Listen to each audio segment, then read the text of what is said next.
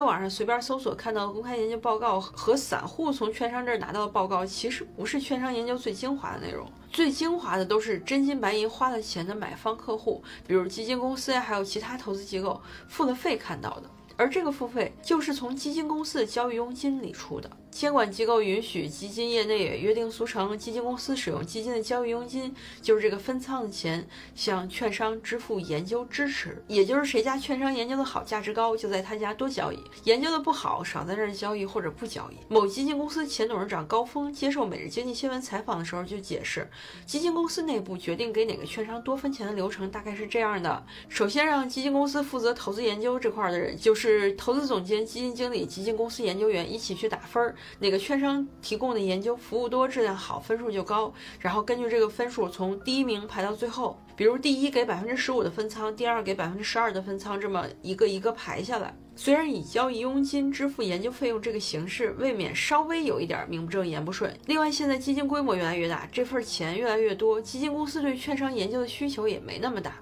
毕竟市场上也就那么几千只股票，钱多了也研究不出花来。这付出已经和基金公司买研究的钱不匹配了。但终究，基金经理使用券商研究的结果，最终用于判断如何进行基金持仓，归根结底也是用于基金本身。为了基金更好的盈利，从这个角度看，确实属于羊毛出在羊身上。你非要说这样合理，没啥毛病。但真的只是纯纯的谁家券商研究做得好，就给谁家多分钱吗？每日经济新闻记者根据公开数据统计，前董事长出来爆料的这家基金公司，二零二二年把百分之十四点七二的分仓，合计六百三十三点二万元的交易佣金分配给了一家 HT 证券。而最新数据，HT 证券的分析师数量只有两名。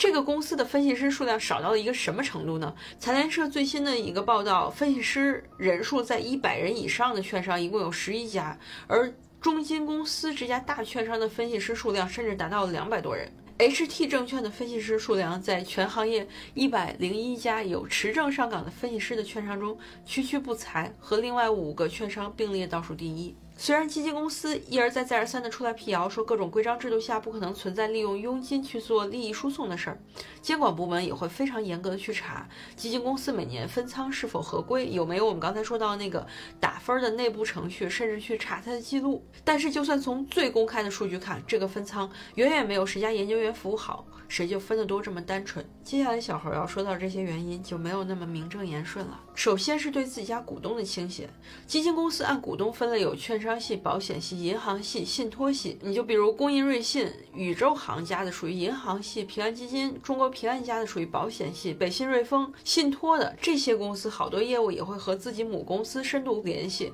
比如帮股东去管一些委外基金什么的。而大量的基金公司属于券商系，是证券公司的参股或者控股公司。我们一般也认为，券商系的基金公司投研能力会比其他系的公司强。而在分佣金的时候，这些基金公司肯定会往自己的证券母公司这边倾斜。根据公开数据，比如华夏基金是中信证券的，二零二二年给母公司分了二点零五亿；汇添富是东方证券的，一年给母公司分了一点七一亿。咱就说这种事儿，其实刨根问底儿一下你也说得过去，因为肥水不流外人田呀。那些银行系、保险系的基金，就因为自己母公司规模还会大一些呢。证券系的公司说，我母公司信得过，服务好，给基金公司服务和给散户的服务肯定不一样。万六万七万八呢，人家研究服务做得好，基民该付钱，咱就付钱，咱一起价值投资。但这事儿还是不对。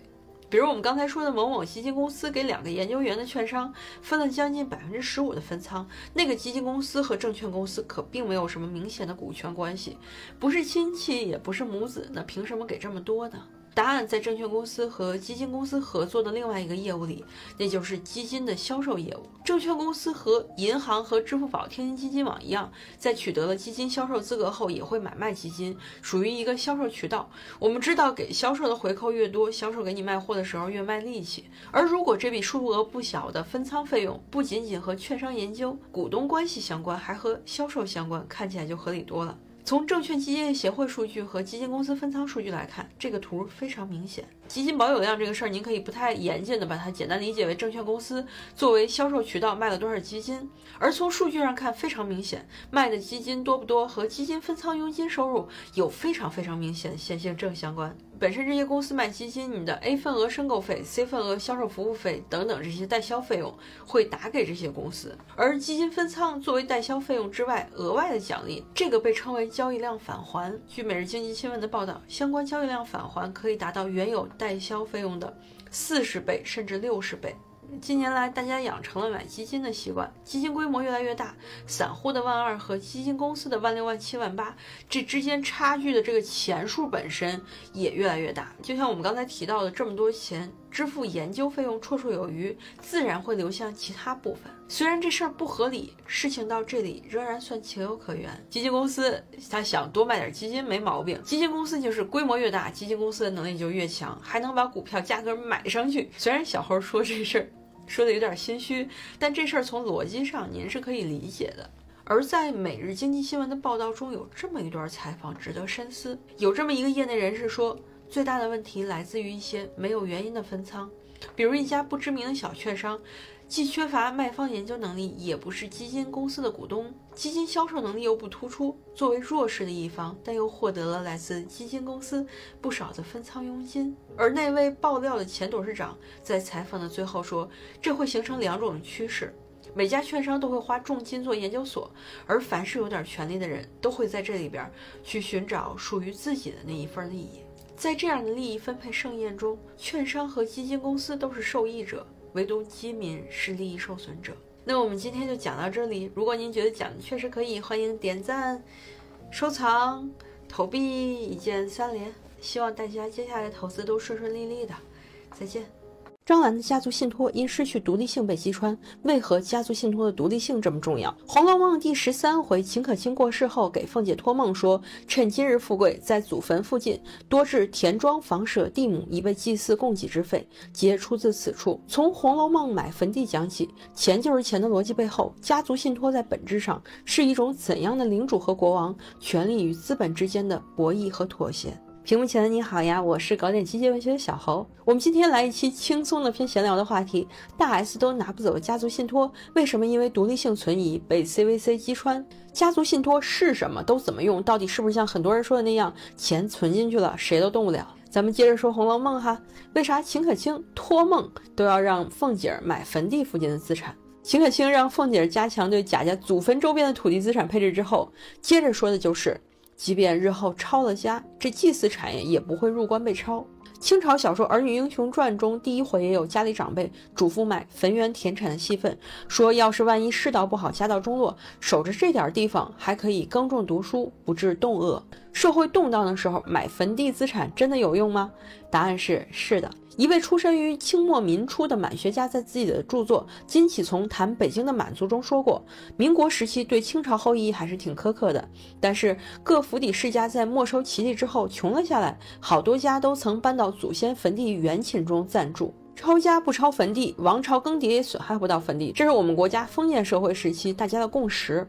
而凤姐虽然精明，府内原来草莽的贾家却也想不到这一块儿。大家族如何在一朝天子一朝臣，甚至王朝的更迭中得以存留，或许是秦可卿这样来自更高阶层家族的人才懂得的。对于西方国家来说，祖坟的田产换了一种金融形式，那就是这次张兰被 CVC 击穿的家族信托。张兰这事儿，您可能在其他地方已经看过很多遍了，我简单的帮您回忆一下。二零零八年，张兰想要给俏江南弄上市的时候，跟鼎晖做了一个对赌，鼎晖注资两个亿人民币，持股百分之十多一点。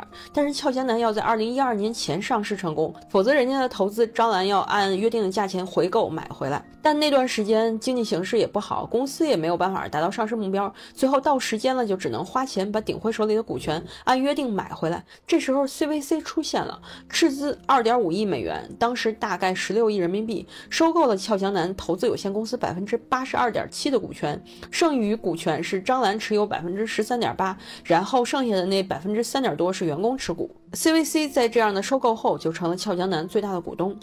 但是二零一二年，俏江南的业绩忽然大幅下滑，而后俏江南又一次上市失败了。没上市成这件事儿，CVC 聘请了会计师审查俏江南的账。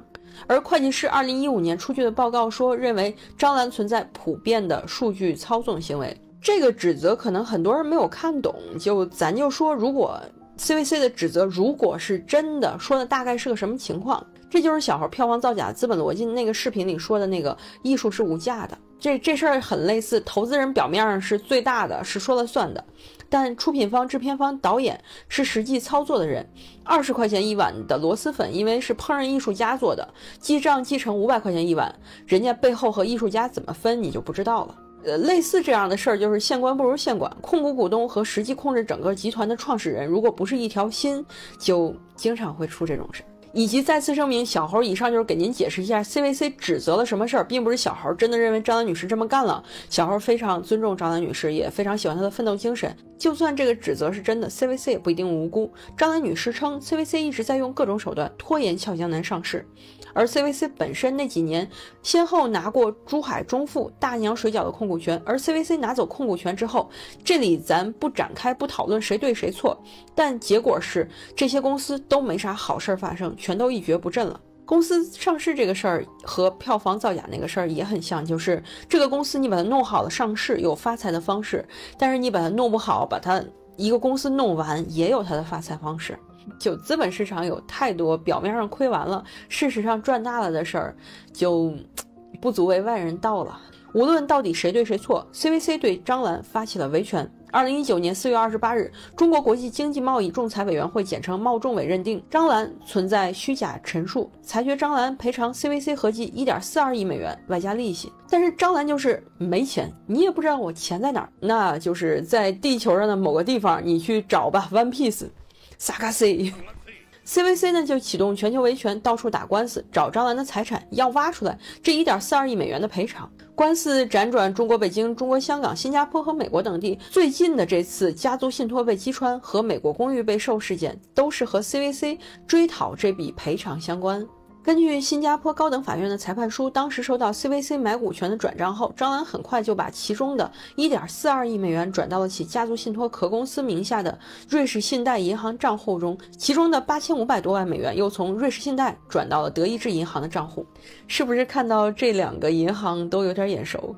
这个时候，CVC 在追账的路上就找到了在张兰的信托壳公司基础上成立的离岸信托，受益人呢是张兰的儿子汪小菲及其子女，托管人是亚洲信托。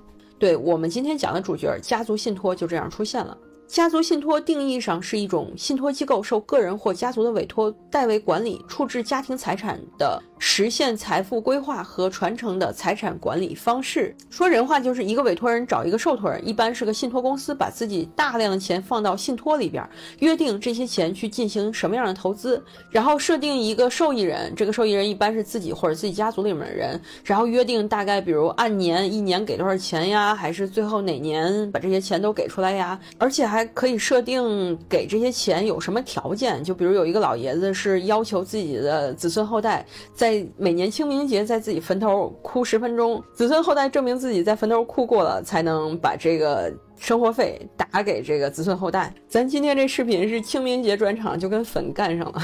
在海外，一般家族信托都是特别有钱的人用来避遗产税和其他各种税的。它是委托人给受托人的一大笔钱，这样他和委托人没有那么大的关系，就算这个委托人破产了，也不会去清算那个信托。张兰的钱在家族信托里，而家族信托有独立性，这就是所谓的这些年信托公司吹的特别厉害的风险隔离功能。CVC 讨账就讨到这儿就卡住了，因为这是个张兰的信托，你就算讨债也从这个信托里拿不出来钱。这些年好多有大产阶级，就是比如设立一个家族信托，在结婚、离婚之后，老公或者媳妇儿分不走里面的钱，就是所谓的避免出现婚变的财产分割。近年来，好多家长会给富二代做这个，因为富二代离婚再结婚的现象太严重了，结了离，离了结，这损失会让富一代心碎。以及比如经济形势好的时候，企业的实控人会成立一个家族信托，万一以后企业不行了，破产的时候清算不到信托，子孙后代还能靠信托里面的钱生活，不至于生活品质出现大幅下降。这也就是为什么我们说家族信托和祖坟周边房地产特别相似。都是在风平浪静的时候准备，防止波涛汹涌的时候出事儿。但家族信托并不是完全钱在里面就动不了了。我们国家之前发生的家族信托第一案，就是夫妻两人中的丈夫在外面生了孩子，瞒着老婆给外面的儿子用夫妻共同财产搞了个家族信托。有些信托公司呢，近年来为了拓展业务，给客户了一些不切实际、违反公序良俗、法律也并不保障的奢望，甚至家族信托被有的人就此称为“小三儿信托”。而无论是背着持证老婆瞎搞的，还是专门设立家族信托用来躲债的，这种本身就很可能违法的东西，如果正房或者债主上了法院，这样的家族信托很有可能并不会被法院支持。这个结果就是信托有可能被撤销，或者就是家族信托的账户直接给别人接管。我们现在回到张兰这儿，CVC 不是卡在张兰的家族信托门口不能进去要钱吗？但是二零二二年十一月，CVC 告张兰还钱的时候，证明了什么呢？证明了张兰多次从家族信托里往出转钱，还用家族信托的钱在纽约买了公寓。张兰的代理律师也书面确认过，张兰才是瑞士信贷银行账户和德意志银行账户的实际所有人。就这样，新加坡高等法院就认定，张兰将其个人资产转入信托壳公司的目的就是为了躲债，最终判决。同意 CVC 任命接管人接管过来张兰设立的家族信托账户，账户都给人家了，当然这钱就直接可以从那个家族信托里转出来了。然后接下来，美国把那个张兰的纽约公寓要给卖了，还 CVC 的债。这个美国联邦法院的判决也是类似基于这样的判断。可能张兰女士自己都会疑惑，就怎么这个我看着无所谓的事儿，我自己的钱，我自己的账户拿去买公寓，CVC 怎么就能这么轻易的把家族信托击穿了呢？而为什么家族信托最重要的就是它的独立性？我们接着讲故事。中国古代的财富传承和抵御极端风险，靠祖坟周边资产配置。而在现代金融工具的老家欧洲，那就是另外一个故事了。那是个领主和国王的故事。很久很久以前，有这么一群领主和一个国王。国王看到领主非常富有，怕领主造反，又想占有领主的资产，就对领主收取大额的遗产税和财产税。领主的钱想要进行任何投资和赠与，都要被收税，而转移又能转移到哪里去呢？最多只能捐给教堂或者慈善机构。就这样一轮一轮的收遗产税，国王的资产会越来越多，而领主的资产会越来越少。但领领主也是会反抗的。随着法律体系的发展，出现了一种新的法律实体，叫信托。这个实体允许人们将财产留给信托，由信托经理管理和分配给受益人，以保护财产免受继承税和法律争议的影响。那就是最原始形态的家族信托。这种情况下，信托就是纯正的一堆钱，这堆钱专人管理，按约定分配。他不是人，所以你不能对他收遗产税，是吧？遗产税是有人继承遗产，而他也不算领主的投资，他是领主把自己一部分钱直接独立出去了，领主跟自己的钱分家了。领主就这么设立信托，把财富放进信托里，留给自己的孩子。那国王收不着遗产税，就这么忍了吗？答案是是的，国王就这么忍了，因为国王最怕的事情是领主造反。而因为财富在信托里，钱本身是独立的，国王不再担心领主用信托里的钱造反了。而领主接受了吗？领主为了保住钱，保住维护信托存在的制度，也需要一直支持、允许信托制度存在的国王。国王和领主权力与资本之间就这样达成了微妙的平衡。而就因为如此，从信托这个制度诞生那一刻，信托的独立性就非常重要，因为这个独立性是国王默许领主设立信托的基石。信托发展了这么多年，远远不是国王和领主之间的事情，而是有大产阶层的一种工具了。其实，家族信托现在已经是一个非常有意思的东西了，因为家族信托它可以对受益人设置很多条件，又可以存在很多年，所以会有很多非常有意思的个人意志利用信托实现。比如，二零一七年就防托的那个霸王集团夫妻店，夫妻俩闹离婚，用定增的方式，上市公司股票定向增发给家族信托，夫妻俩中男方。用这样的方式稀释了女方的股权，还就此制定了长子作为最大受益人和接班人。然后近年来，在国内开始有人使用的一种非常巧妙的方式，就是有一些退休之后又不想卖了自己辛辛苦苦创业的上市公司，又没有合适接班人的上市公司创始人或者是董事长，会把股权。转入一个底层资产是有限合伙形式的股权投资基金的家族信托，这样找个 GP 去管理上市公司，自己作为 LP 还是实控人。上面上面这块你有点专业，您看得懂就懂，看不懂也没关系。我们接着说八卦。比如这是比较最近的事儿，就有一对有钱的姐妹俩生了孩子，还都是女孩，姐妹俩都让渣男祸害了，又怕自己的女儿遇上渣男，然后就设置了这样的家族信托，要到女儿五十岁之后才能从里面取大钱，在这之前都只能领最基本的生活费，防止渣男只是为了图钱而霍霍他们的闺女。然后还有就是我们刚才说的，怕不孝子孙不给自己上坟，设置条款，每年受益人领钱的时候需要清明节在坟前哭够十分钟，然后给信托的管理人确认才能领钱。近年来也是为了海外上市公司架构，很多上市公司企业主都会选择使用离岸家族信托。但就是张兰还有那位非婚生子做家族信托的人遇到了同样的问题，就是信托公司想要这单生意，玩命的夸这个制度怎么好，其实忽视了很多问题。他们把信托形容为随便给别人打钱、随便躲债的一个工具，但事实上很多事情是信托公司为了销售夸张过的，也会出现种种问题。以及近年来离岸信托的规模巨大，对我们国际收支会产生一定的问题，我们的国家应该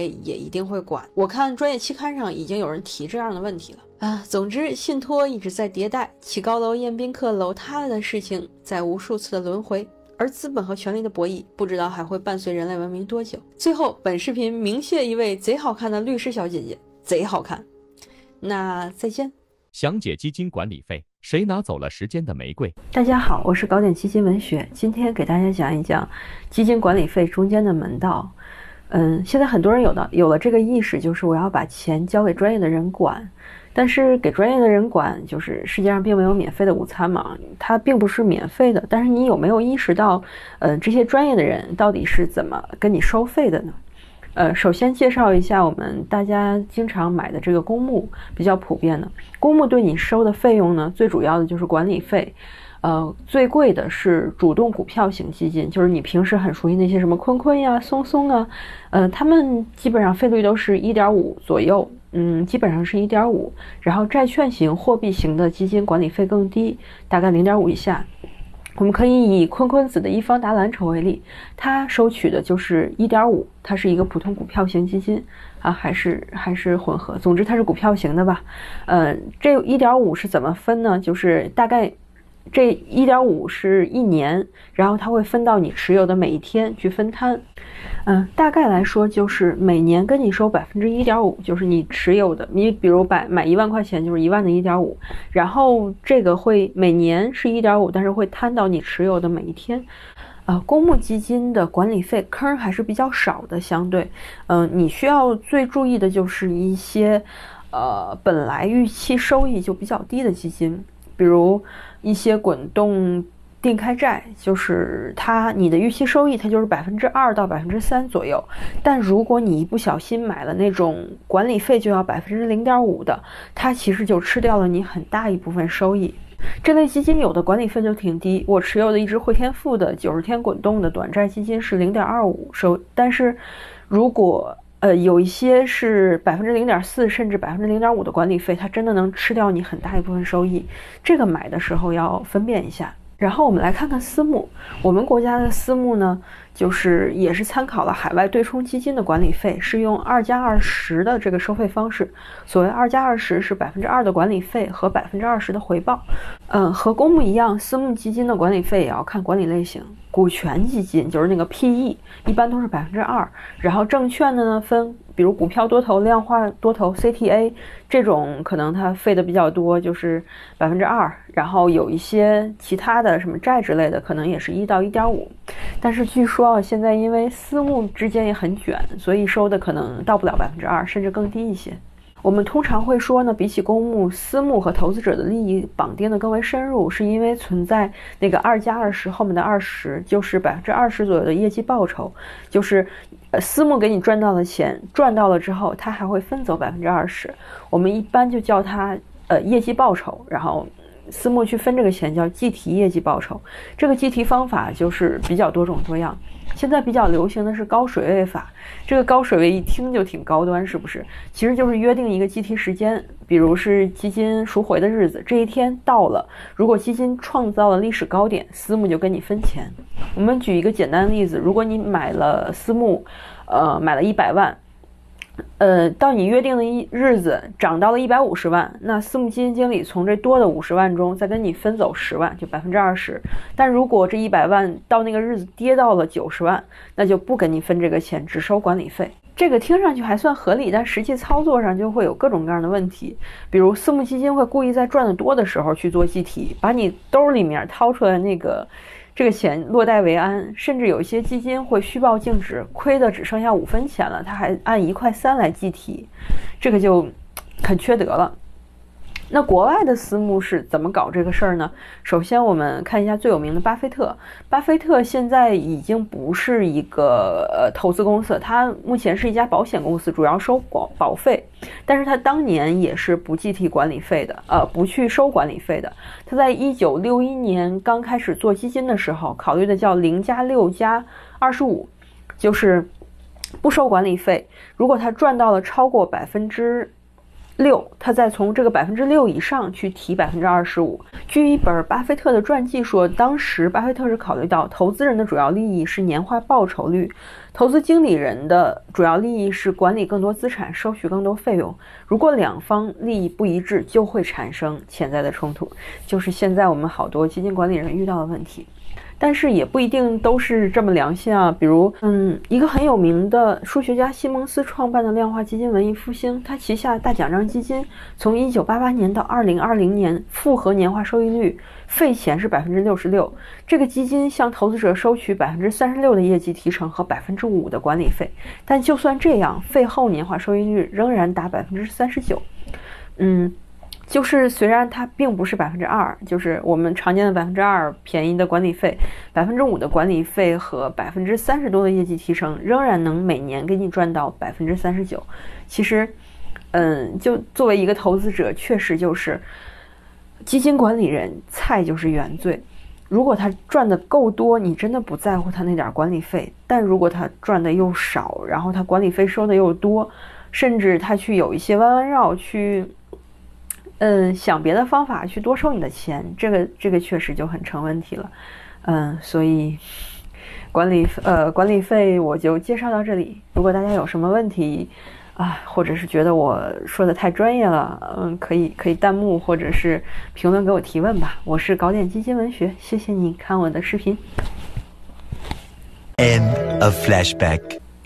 其实今天我非要录视频，是因为我化了个妆。就是今天，今天，好呃，居家居家好久了，但是今天突然很想化个妆。如果化了妆还没有录视频，就觉得白化了。嗯，就是这样。谢谢你看我的视频。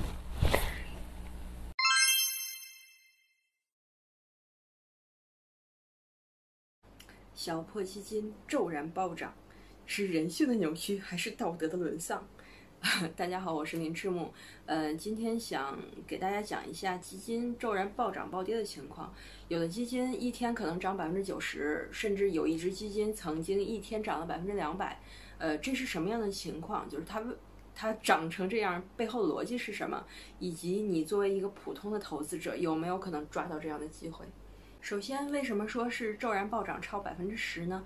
因为其实。大家知道，大多数基金是一天涨跌，呃，超过百分之十就是很诡异的情况了。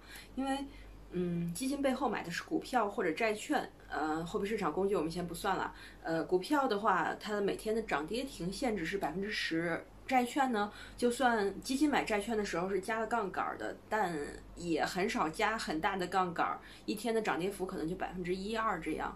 嗯，所以。涨跌超过百分之十是一个很离奇的状况，但要注意，这个说的是非杠杆基金。如果是杠杆基金，就是分级基金，有 A、B 份额，A 份额给 B 份额借钱，这也是另外的情况啊。有有机会我们再好好讲一下分级。呃，还有，其实如果说跌的话，如果债券基金踩雷，其实跌幅也能超过百分之十。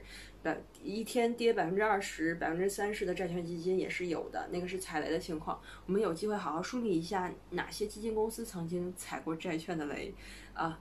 就是回到主题，呃，在这样的条件下，为什么有些基金一天能涨百分之九十，有些基金一天能涨百分之十以上，有些基金一天涨了百分之两百零六呢？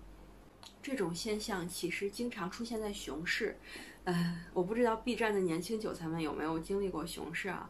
嗯，我们可以抓一个熊市的例子过来。二零一六年的时候，不知道大家呃有没有经历过？二零一六年从年初就开始熔断，就年初第一个星期的时候，我印象那五个交易日有三个交易日熔断了。熔断是什么呢？就这一天指数只能跌百分之七。其实熔断也是有一定原因的了，因为指数只能跌百分之七，但是股票可以跌百分之十，这其中其实有百分之三的无风险套利机会，它不跌成这样才怪呢。就监管真的是傻，嗯，呃，说回说回 说回正常的，然后嗯，这一年你统计的时候发现啊，其实股票型基金就没涨多少嘛。呃，这一年的年末发现哦，股票型基金的冠军涨了十七点九。看图，呃，混合基金的冠军涨了百分之二十九点八。其实，嗯，这一年沪深三百直接跌了百分之十一点二八，所以能，而且而且当年我记得，反正股票市场特别惨，交易交易的，就是大家交易也不够活跃，所以那年能做成这样已经很不错了。而且二零一五年年末的时候，好多人冲业绩，所以当时的股票仓位就是大家买股票买的也比较重。所以年初的时候，二零一六年年初的暴跌对基金的损害真的挺重的。但如果你不看这些，你把二零一六年整个的基金收益率、偏股涉股的基金的收益率拉出来，你会发现前面有一只一枝独秀的基金一骑绝尘，涨了百分之九十，它就是国泰农业 C。哎，为什么它涨了百分之九十，然后但是也没被记到什么沪指的？冠军里呢，它其实这百分之九十是一天涨的，你可以查一下数据，在在大概四月十八号的时候，国泰农业 C 净值飙涨了百分之九十点五七，看一下这个陡峭的曲线，再看一下这个它在全年中，它这么多年了，那个陡峭的线你都可以看到它，就是这么多的净值基本上都是那一天涨的。很诡异的事情是什么呢？呃，他当时的持仓，四月十八号我们可以看他一季度末的持仓，他当时持有的是金路金雷股份、奇信股份、大华股份，反正这些没有一个涨得像持有之后可以让他一天涨百分之九十的，而且他持股占基金净值比可能只有一个人福医药到百分之三，就其实他基金。持有的股票可能持有着一只股票最多的只占了百分之三，它可能是一只打新基金或者一只主要买债券的基金，这些根本不支持它一次涨百分之九十，一天涨百分之九十，所以它到底是为什么涨成这个样子？呃，我们可以返回到这个基金的合同里面去看一下，呃，就搜它的合同可以看到，基金国泰农业 C。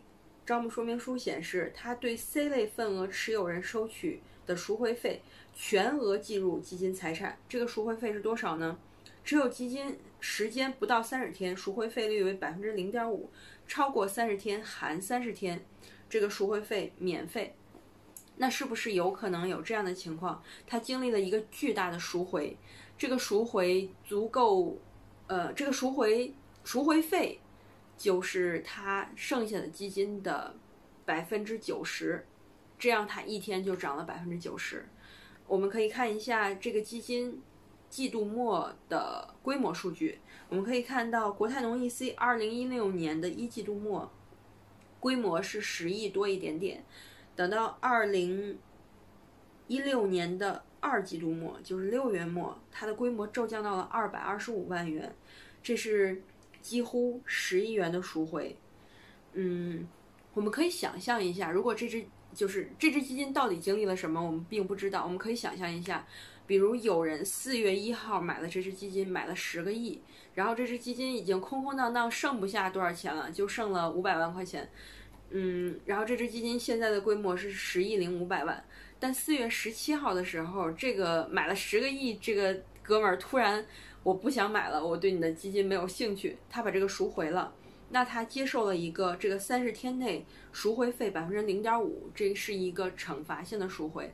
嗯，那他赎回了之后要交这个赎回费，十亿的百分之零点五是五百万，那他这个基金的五百万赎回费计入基金财产，那这个基金一天就涨了五百万，它原来就剩下五百万了，又涨了五百万，那如果这一天是发生这样的事儿的话，那它一天就会涨百分之一百。这个百分之九十其实也是类似的情况，百分之九十点几几。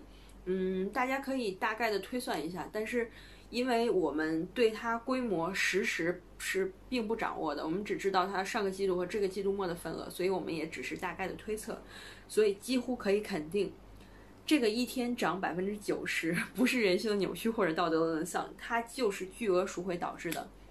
当时我采访了一位很厉害的老师，呃，他现在去做 FOF 了，呃，他当时是这么跟我说的。某日单日收益率大涨，且其核心份额或次级份额收益率并未同步，这基本可以判断为大额赎回所致。嗯，所以大家了解了吗？其实这个是大额赎回导致的。嗯，一天暴涨百分之九十这样的事，嗯，可能你会说，哎，它这是不是个个例呢？但其实这样的事儿还有很多。嗯，我们看一下。呃，这张图这是二零一六年全年的呃基金收益率。这张图刚才我说了，当年的偏股基金涨得最好的是涨了百分之二十九。那大家可以看一下，百分之二十九以上的这些妖艳贱货们都是 也不是妖艳贱货了。百分之二十九以上的这些基本上都可以确定，它是当年曾经有一天暴涨的这么多。就遭了遭遇了巨额赎回，因为熊市的时候嘛，大家卖的都比较凶，而且这种基金在里面会比较显眼。这上面我看怎么也得有十，呃，没有，有好几个。而且就算没在这上面，比如当年年末的时候，有一个西部利的新动力 A，十二月份有一天涨了百分之十一点二三，就这种其实有很多。但你说了。呃，既然这样的有很多，一天涨百分之十、涨百分之五六十、涨百分之九十这样的好事儿，我要不要努力一下呢？呃，我的答案是千万不要，因为巨额赎回可能引起，嗯，这种暴涨。但我们刚才也看到了，它是比如三十天以内赎回才是百分之零点五的这种，我们说是惩罚性的赎回费。嗯，也有一些它。走的时候不交赎回费，但也有一些固定的基金的要付的费用要计提，那或者是比如基金计算的时候没有特别的严谨，有一些小数点之类的问题，这样也会引起暴跌。比如也是二零一六年的时候，有一个建信新丰回报 C 份额，它一天曾经暴跌了百分之六十七点五六。然后隔了几天，它又暴涨了百分之两百多，两百多少？我一会儿看一下。嗯，它当时巨亏，很可能就是巨额赎回之后，基金份额就剩剩不了多少了。它可能一个巨大的基金就最后就剩了几万块钱，然后有一些固定费用仍然会计提，或者有可能是比如它因为。基金小数点一般是精确到后四位吧，我印象中是后四位。总之，它可能小数点有可能不精确，那一个巨额的赎回也可能会引发暴跌。当然，后来这个建信基金，呃，又一天暴涨了百分之两百零八，又把这个涨回去了。然后建信基金当时回应呢是。呃基金净值大幅波动是因为估值方法造成的。我们已经修复了净值，基金持有人的利益也没损失。他说是他估值方法出现了错误，最后修复了，但基金持有人也有可能就此受到损害。所以这种暴涨暴跌的基金，我们是不要跟的。虽然它有一天可能涨百分之九十，一天涨百分之两百多，但这种一天的东西，这种。干一票就回家结婚的事儿，我们不要干。这个这个 flag 不要立。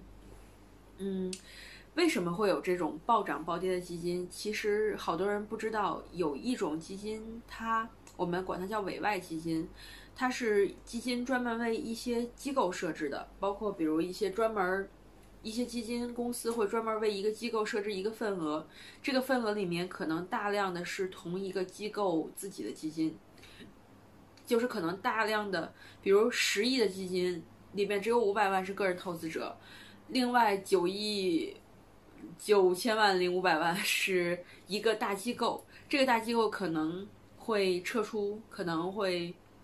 就是做各种各样的事情，而你作为个人投资者在里面是弱势的。这样的委外基金可能有各种各样的特点，嗯，主要特点应该就是规模小，然后你可以看到它的规模暴涨暴跌，嗯，就规模的波动比较大，嗯，然后它的名字起的特别不走心，名字都是按辈分的。这种基金我们稍微避免一下吧。如果买的话，最好买比如基金公司。呃，比如明星基金经理的，或者是，嗯，怎么说，他名字起的很走心的，这种的，一般可以避免是委外基金的基金吧。嗯，大概今天的分享就到这里，不知道我的节奏有没有快一点？嗯，谢谢大家，就这样。写作市值管理，独坐坐庄。大家好，我是林赤木。嗯，最近市值管理这个事儿很火，呃，大家也都吃瓜的时候发现了，市值管理这个事儿其实就是上市公司联合一些游资、呃，券商、公募，呃，包括私募去，呃，操纵股价的这么一个事儿。呃，正好其实大概两年前我做过一篇相关的稿子，呃，就大概给大家讲一下市值管理一个什么样的公司会做市值管理，然后怎么做。嗯，资金来源如何分成，以及怎么规避监管，大家姑妄听之。其实这只是冰山一角。什么是市值管理？其实市值管理这个词儿最早，嗯，没有这个违法乱纪的意义，它只是一个呃，上市公司通过各种方式来达到公司价值的最大化。嗯，但到了后来，就 有各种各样的其他方式，比如系统性的业绩造假，还有通过资本运作和收并购来刺激股价，然后甚至早年还有上市公司曲线的去借用各种资金去炒作自家公司的股价。但现在的市值管理呢，其实是一个通过内外兼修，我内部去做上述的这些操作，外部可能再去。通过和其他的资金去勾结，然后一起内外兼修，一起把股价轰上来。谁参与市值管理？嗯，在业内操作和实施实施市值管理的行为被称为做盘，就是做一次市值管理就是做一次盘。善于做盘的人被称为操盘手。一次每一次做盘就是每做一个就是股价操纵，就是做庄。每每次做盘都需要两个方面的人。一个是公司的人，就是市值管理的标的上市公司，一定要有公司的高管或者实控人、内部人员参与，这个庄才能做成。另外一个是金主，也一定要有资金来源，因为靠呃上市公司自己的资金肯定是不够的。谁是市值管理的金主？嗯，这个可能是个人大户，可能是私募，可能是其他的资金来源。嗯，其实这个事儿，呃，这回这个事儿牵扯呃这么多金融机构，就是公募和券商，我还是挺惊讶的。因为早年间其实确实有很多大型的金融机构介入市值管理这个事儿，但是前几年其实狠狠罚过一批，罚过这批之后，嗯，很多金融机构并不愿意亲身冒险，但是呃，看看那个。这次这个爆料之后，可能我这个消息是错误的，还是有人愿意冒险的。Nice。金主和上市公司的目的。嗯，这两方参与市值管理的人，他们各有各的目的。嗯，对于出资方的金主来说，做盘的做盘的主要目的其实就是挣钱嘛。嗯，它是通过资金优势和信息优势来掌控定价权，然后通过这个股价的波动，那肯定市值管理之后涨上去了，它就实现收益了嘛。然后公司方面，嗯，一方面多数公司会希望股价上涨，呃，增加大多数那个股东的价值，呃，股东价值和融资能力。但另一方面，有时候为了配合公司的资本运作和股权激励，也有可能是希望，呃，并不是希望上涨，而是希望股价不要波动的太厉害。做盘过程中，金主和上市公司都要做什么？在这个做盘过程中，资金方提供的是资金和未来的分红，来交换公司的各种配合。然后公司方呢，通过提供各种信息，还有财务数据，呃，包括收并购，换取公司市值的增长和分红。嗯，从本质上来看，其实就是一方出钱，一方出力，然后两面一起合谋。就把这个公司的股价弄上去。市值管理从一个勾兑开始。嗯，其实市值管理这个事儿，在好多证监会的处罚书中，我们都能看见。这个其实挺公开的了。它这个始于一个勾兑，嗯，一般都始于一个勾兑，就是呃，资金方找到上市公司方，或者上市公司方找到资金方，上市公司说我有市值管理需求，然后你给我整一点钱来，让我。把股票市值做上去，或者是资金方问上市公司你要不要做市值管理，嗯，大概就是这样。然后两边一商量好，呃，上市公司方抛出利好或者做出好的各种数据，然后资金方找专人操盘。这一批先到这里，下一批再举个例子。也越深越知道，你你能触及到的比较本质的东西，其实就是资本的意志。资本和粉圈有关系吗？嗯，屏幕那边的你好呀，肯定有些朋友像我一样，就是觉得饭圈是一个又吵又不理智的地方，就一群毫无理智的人聚在一起说毫无理智的话，骂毫无理智的街。后来因为自己也有了喜欢的明星，稍微了解了一下，其实饭圈更多背后是。他的经纪公司和背后资本培养的结果，我现在更倾向于认为，粉丝本身其实更多的是呃稍微无辜一点的。就像《白毛女》里面我很喜欢那句话，就是旧世界把人变成鬼，新世界把鬼变成人，这是有意识引导的结果。这些资本呢，把群体心理学运用到极致，运用职业粉丝放那些精心设计的小作文，有针对性的做一些什么虐粉固粉。然后增加粉丝粘性，然后去提高粉丝的消费额。作为粉丝，就是你作为一个弱势的粉丝个人来说，其实没有那么有抵抗力。嗯，但是粉圈的操作肯定不是我能探讨的重点。今天想探讨的是，呃，没有无缘无故的爱，也没有无缘无故的恨。为什么资本要培养饭圈去祸害粉丝的脑子，伤害他们的心智，他们变成傻子？呃。嗯，对不起，我之前采访过一个 PEFOF，就是股权母基金的帅哥，他反复跟我提一句话，就是资本有其意志。然后这些年我在呃关注资本市场的时候，也能看到这句话其实非常准确。有国家意志的资金会专门去收一些高端制造，为国家长远发展做打算。地方政府资金会和企业约定，我投了你，你税要落在我这儿。然后被清理之前，那些大厂投资部或者是为了垄断，或者是为了自己进一步发展。而巨大体量的个人或私企，它的目的呢？他他作为资本，他的目的就是赚钱，而且他这个钱不光是不亏损，要做到无风险收益率以上。这儿可能有的朋友不知道这个词，我们可以一起学习一下。无风险收益率和国债啊、通货膨胀这些事儿有关系，它有它的计算公式，但是本质上它的概念就是我毫无风险可以赚多少钱，类似于你把钱放到支付宝、呃余额宝里。以人民币计价资产，我们一般把十年期的国债作为它的收益率，作为它的无风险收益率。它这两年它一般就是在百分之三上下浮动。当资金体量巨大的时候，就算每年百分之一的收益率其实都很重要。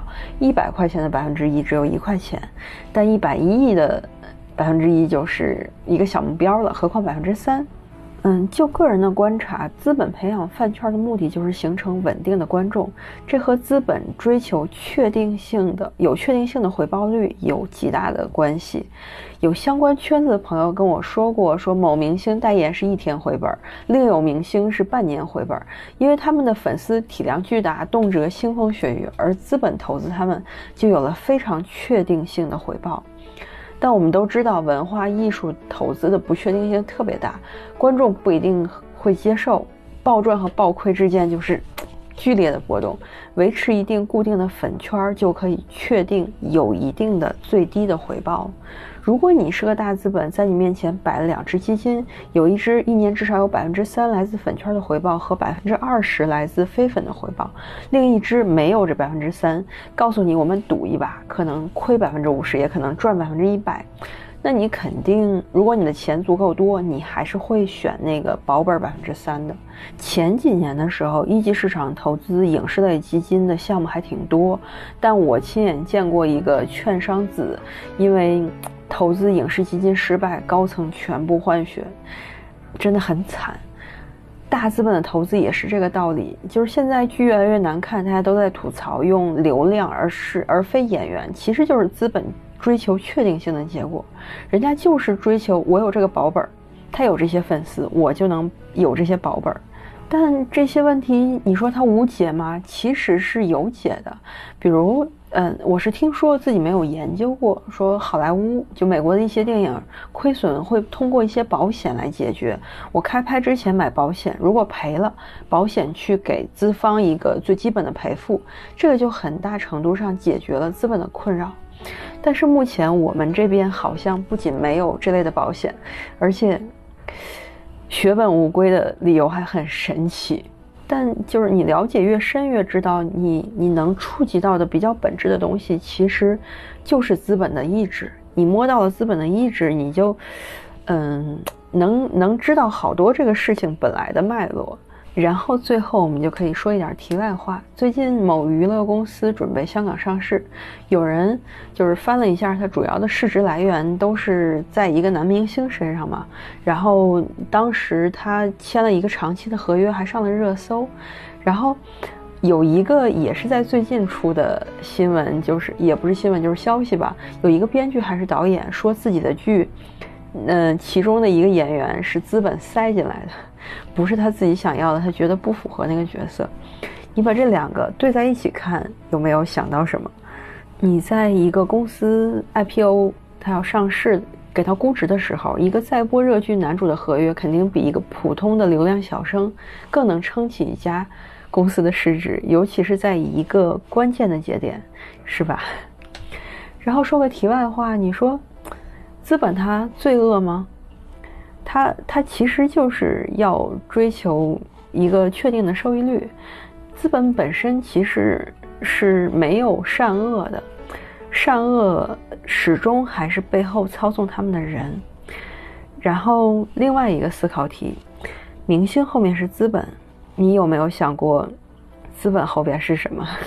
嗯，这个这个问题就分享到这里。虽然讲了一大段道理，但是还是想说一句。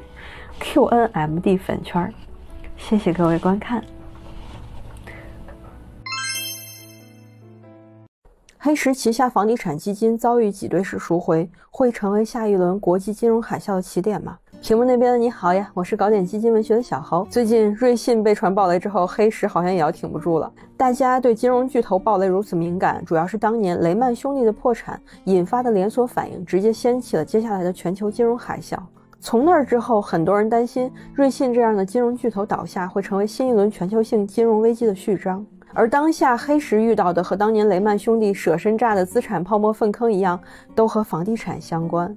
黑石这边这次被巨额赎回，竟然不是因为亏损，而是因为一只房地产基金最近涨得太好。投资者在想，市场这么差，你这基金怎么涨得这么好？你是不是把我当傻子了？呃，废话不说，我们先来看这张图。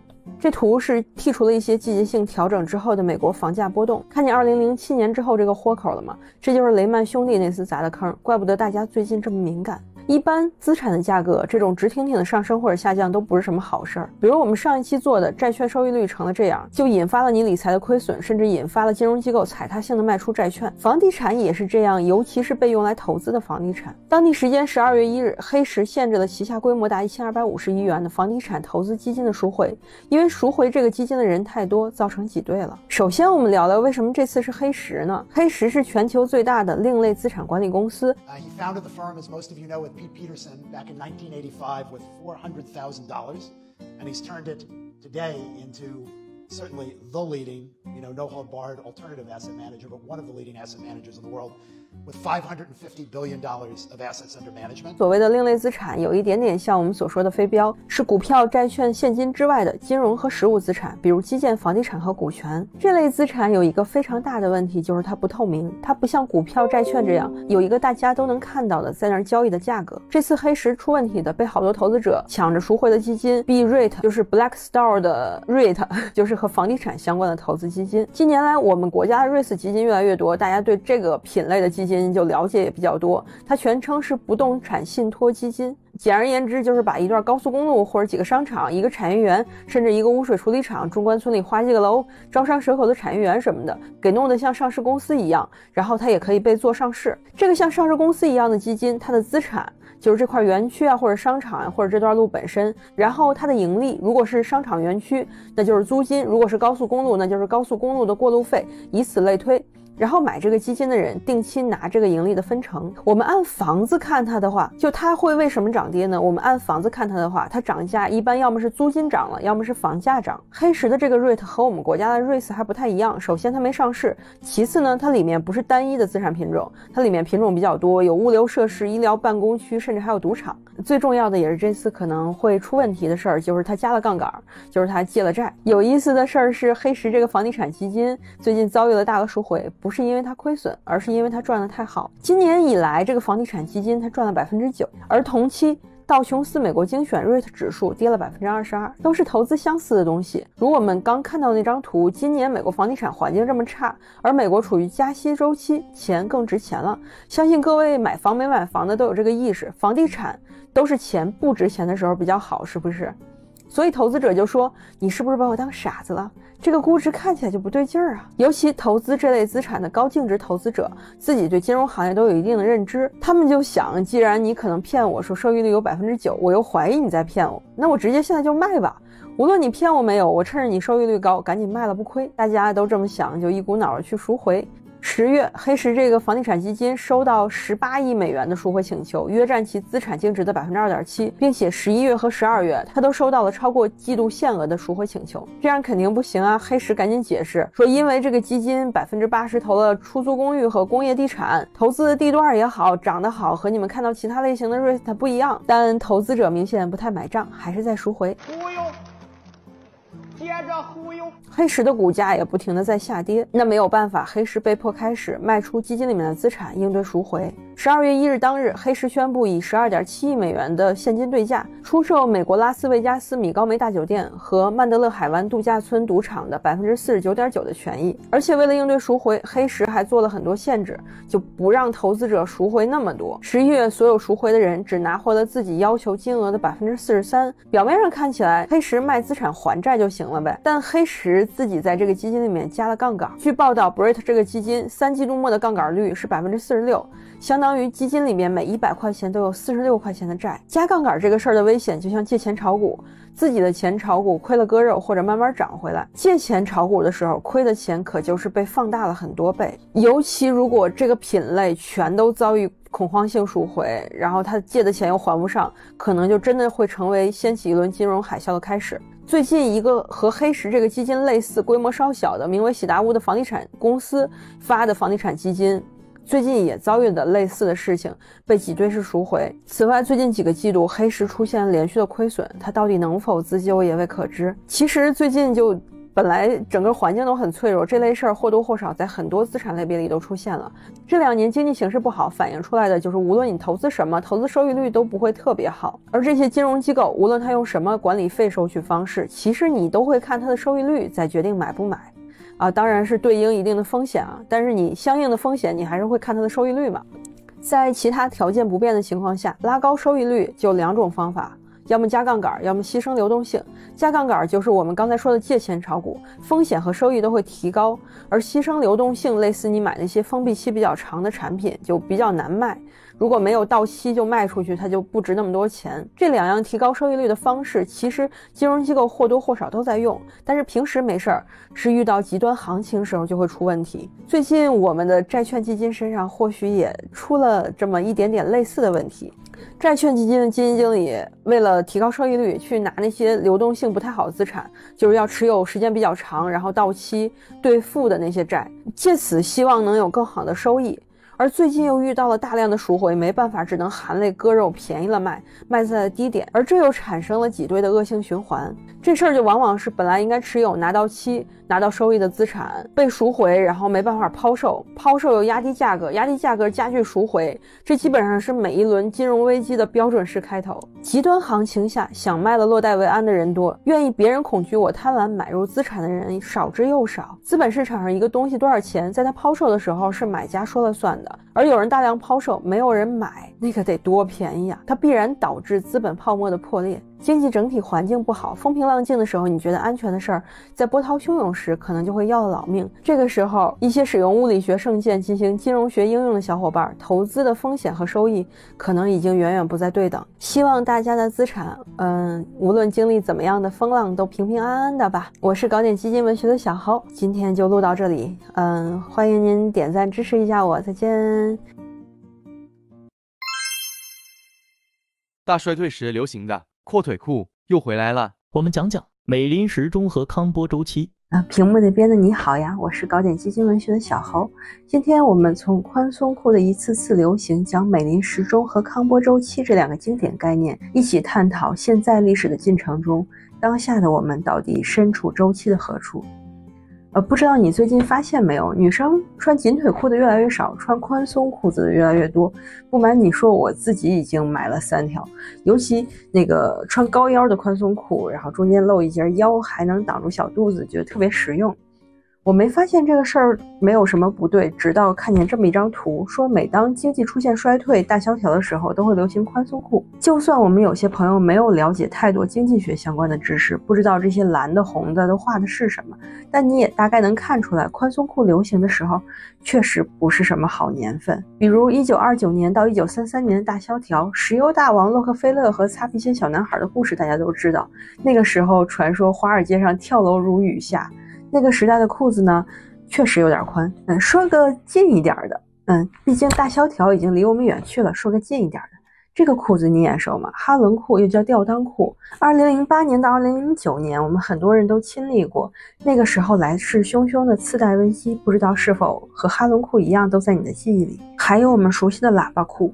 这个其实是从一九六零年流行到了一九七零年，由猫王推向了时尚巅峰。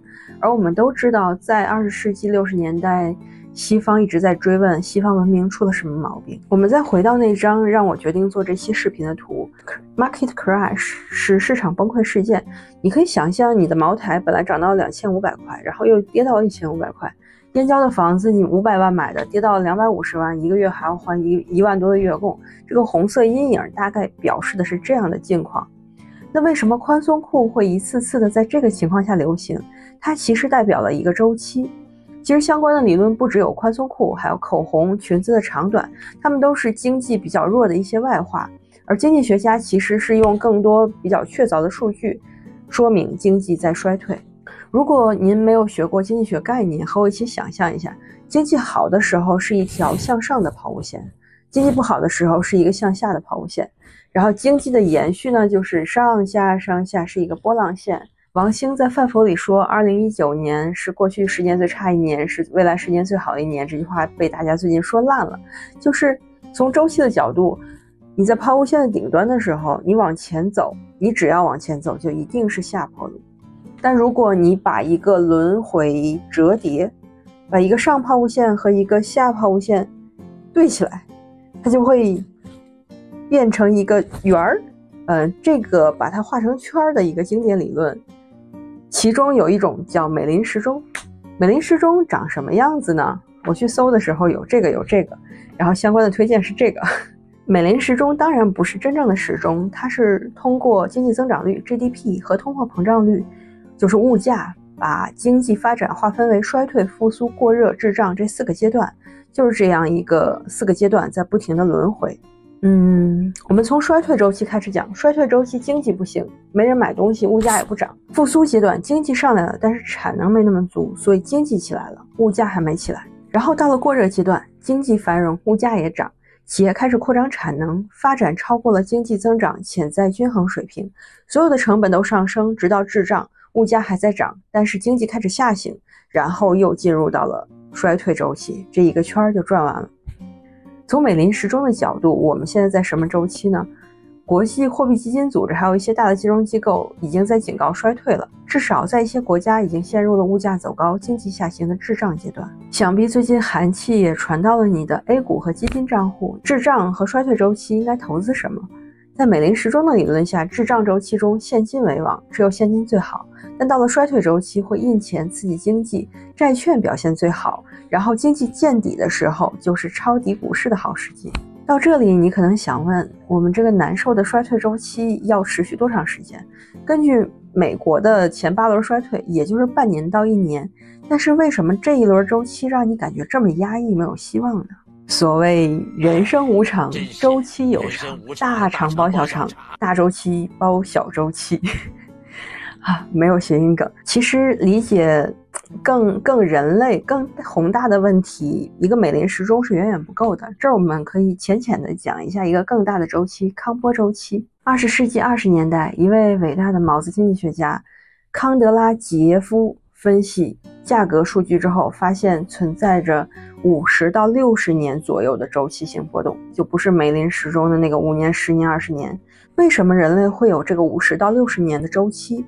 后来的经济学家杜因给出的原因就是创新，在改变人类级别的创新之后，人类就进入了新的周期。这样开创新世界级别的创新都有什么？一七八二年的蒸汽机，到后来的炼钢技术，一八九二年开始的电力、汽车、化学工业，一直到最近的一九四八年以来的计算机、航天、原子能，这些技术创新的存在，都诞生了新的康波周期，人类的大周期。根据杜因的理论，每隔五十到六十年会出现一轮全球经济增长缓慢的朱格拉周期，即康波的萧条期。萧条之后将依次经历复苏、繁荣和衰退。而现在的我们很可能已经进入了康波的萧条期。其实我们国家有一位老师把周康波周期研究的特别透，他就是周期天王周金涛。他也写了相关的书，如果你想详细的研究康波周期，就去看他的书。他在二零一六年去世前预言，在座的各位经历的都是从衰退到萧条的转折点，在座各位未来十年注定在萧条中度过，这是康德拉季耶夫不可改变的规律。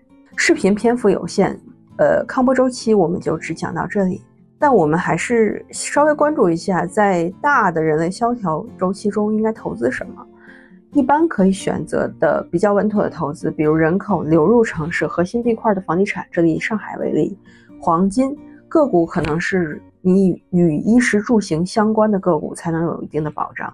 一位长者曾经说过，一个人的命运既要看个人的奋斗，也要看历史的进程。你可能觉得在这个进程中，你无法施展拳脚，郁郁寡欢，可能觉得前途一片暗淡。看着你父母乘着他们那年的康波周期积累的财富，但你能做到的只是啃老，或者为了一套房产掏空他们的所有。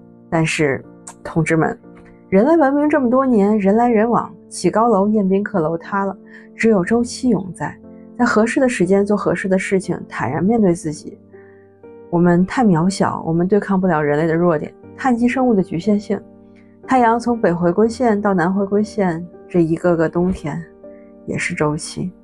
嗯，但我们还是要心怀希望。历史经验表明，每一个康波的萧条期都是后发国家超越先发国家的一个窗口期，而我们这代人还能在退休前赶上下一个康波周期的复苏和繁荣。嗯，我常常劝我的朋友不要悲观。虽然人类的资产会消失，但人类并不会消失。只要撑过去，我们一定会看到下一个周期，满街漂亮姑娘穿短裙的时代。如果有幸您能看到这里，那也可以和我讨论一下，你认为能撑起下一个康波周期的创新是什么？好了，又到我们最后的题外话环节。嗯，这儿就是脱稿讲一下自己的一些想法。就是二零一九年下半年的时候，我曾经参加过一个会，一个李迅雷当时讲说，人类每发展到这个，就是少数人占有太多财富，多数人占有太少。每到这个阶段的时候，就会发现发生几个事儿。这是第二个误区。那第三个误区是分歧四骑士，就其中的三个。背诵啊，它是有重难点的。那么我们一定要挑最重要的先去背，然后再去背那些不重要的。根据人类的过往来做的这个判断，然后那是八月还是九月？啊，举个例子，马上二零一九年三个月的时间，还有第二年二零二零年，新冠就来了，然后后来我们也看到俄乌战争就来了。刚才我们说了，教育学原理公式十二章就是从八月一号到八月。这个未来的预判真的非常准，无论是李迅雷还是那位已逝的周金涛，但他们能做出这样的预判，就是人类其实在不停的重复自己的错误。第一章其实有一在重错过程中学习新的东西，四个五星，但是还是会重复自己的错误。不对，所以一个三星。哎，这是第一天的周期，那八月二号的时候，我们能很大程度上做好对未来的预判。至少让我们复习的是八月一号的五星，我们只过得更舒服一点吧。也希望我们已经挺到那个满大街姑娘穿短裙的时代，不想再穿宽松裤了。时间，那么谢谢你能每个同学的量不一样，对吧？但是你一定要知道，就是这一块你可以把它放在这里或者这里，不要说疯狂自购的新闻又多了起来。他们自购在考前的话呢，每到。屏幕那边的你好呀，我是搞点基金文学的小侯。今天的视频可能稍微有一点无聊，数据比较多，但是干货满满。近期媒体又疯狂报道，哇，基金公司又自购了，渲染出一种啊，现在是底部了，快跟着基金公司买，肯定不亏。但事实可能并不是这样。本期视频不构成任何投资建议，仅从数据上阐述一些事实，也会尽量避免提及具体的基金。我们就数据说话，看看基金公司疯狂自购的时间段到底是不是市场的底部。首先看一下以净申购规模计算，就是基金公司自购哪个月份规模最多。毕竟花钱买的规模才是真金白银。很多朋友看到净申购这仨 字就开始头大了。我们要在这里说明一下，基金公司可以申购，就也可以赎回。虽然基金公司赎回，媒体报道就没有这么卖力气。净申购指的是申购减去赎回，这样就是一个呃净的数据嘛。嗯，以后我们还会遇到一个更让人脑袋大的净申购为负，就是基金公司卖的自购基金比买的多。这个时间点可能比基金公司疯狂自购的时间点更有意思。我带大家一会儿结合具体时间点慢慢看，您一定看到。然后就是我们所说到的教育家数据吧。教育家，二零一八年四月、二零二一年三月、二零一八年六月这三个月份，基金公司都进行了大规模自购。这个框起来的数字单位是万元，说明这三个月份基金公司都自购了上千。千亿的基金，对吧？但尤其要注意的是，二零一八年四月这基金公司主要买的货币市场基金比较多。其实大家去就是看基金公司自购，都说哎呀，大盘见底了，所以基金公司自购。但是如果你用货币市场基金的自购规模去判断股票市场是不是底部，那就。南辕北辙了。如果基金自购买的是自家的货币基金，就是我们熟悉的余额宝这种，它买的是货币市场工具，就是一些短期债券、银行承兑汇票等等一些风险低、收益低、流动性好的资产。它和我们日常关注的股票根本就没有太大的关系，这个就不能作为股票市场是否见底的判断。呃，但我们本着求真务实的态度，看看基金公司当时自购货币基金赚钱了吗？我搜了一下天弘余额宝当时的七日年化收益，作为一个货币基金当时收益的代表。好家伙，就那个时间段，基金公司买货币基金可真没少赚。当时天弘余额宝的七日年化大概是百分之四点一，就算当年它的收益率经历了骤降，大部分年化收益率都在百分之三以上。这也不得不说，就真的会买。当年二零一八年沪指本身可是跌了百分之二十五，买那些货币基金可能 超越了大部分股票型基金百分之三十的收益。呃，解决了上一个误区，我们接着回到我们最关注的那个问题：基金公司自购一般都会买在股票市场的低点吗？我们看一下基金公司自购股票型和混合型基金什么时候比较多？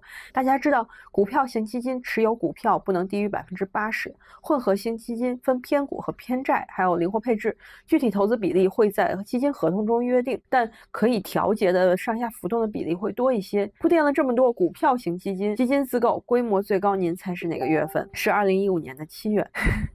当时发生了什么呢？嗯，这个就是沪指的月 K 线图，它是每一个小节儿代表了这个月这个指数的涨跌，然后那个竖线。中间的竖线代表的是它波动的幅度。二零一五年的七月，沪指最高点是四千三百点，而我们今天沪指是多少？还是不忘初心，在三千点上下徘徊。您能说这四亿基金自购它抄底了吗？我还记得有个事儿很有趣，就当时主流媒体做报道，暴跌不能说暴跌，要说宽幅震荡。救市不能说救市，要说稳定市场。然后国家队去救小盘股，大家把它炒成妖股，说他是王的男人。国家队获利了结，一个稿子疯传，国家队考虑退出，市场就风声鹤唳。你也能看到，其实为什么告诉你基金公司自购，不告诉你基金公司赎回？由于这个统计没有偏股混合和偏债混合的区分，所以可能稍微有一点偏颇。但我们还是可以看看混合型基金哪些月份基金公司自购的规模比较大。二零一四年以来。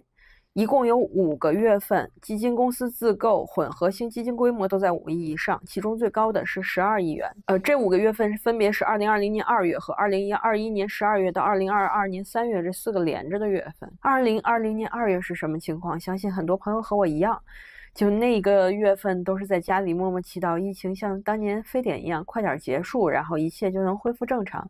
现在看来，那个时候确实是大盘的阶段性低点吧。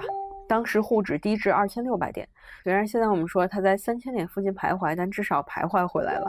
那个确实基金公司抄底，在这个月份是真的抄对了。但你看最近这连着的四个月五亿以上的自购，从二零二一年十二月到二零二二年三月，这是高点还是低点？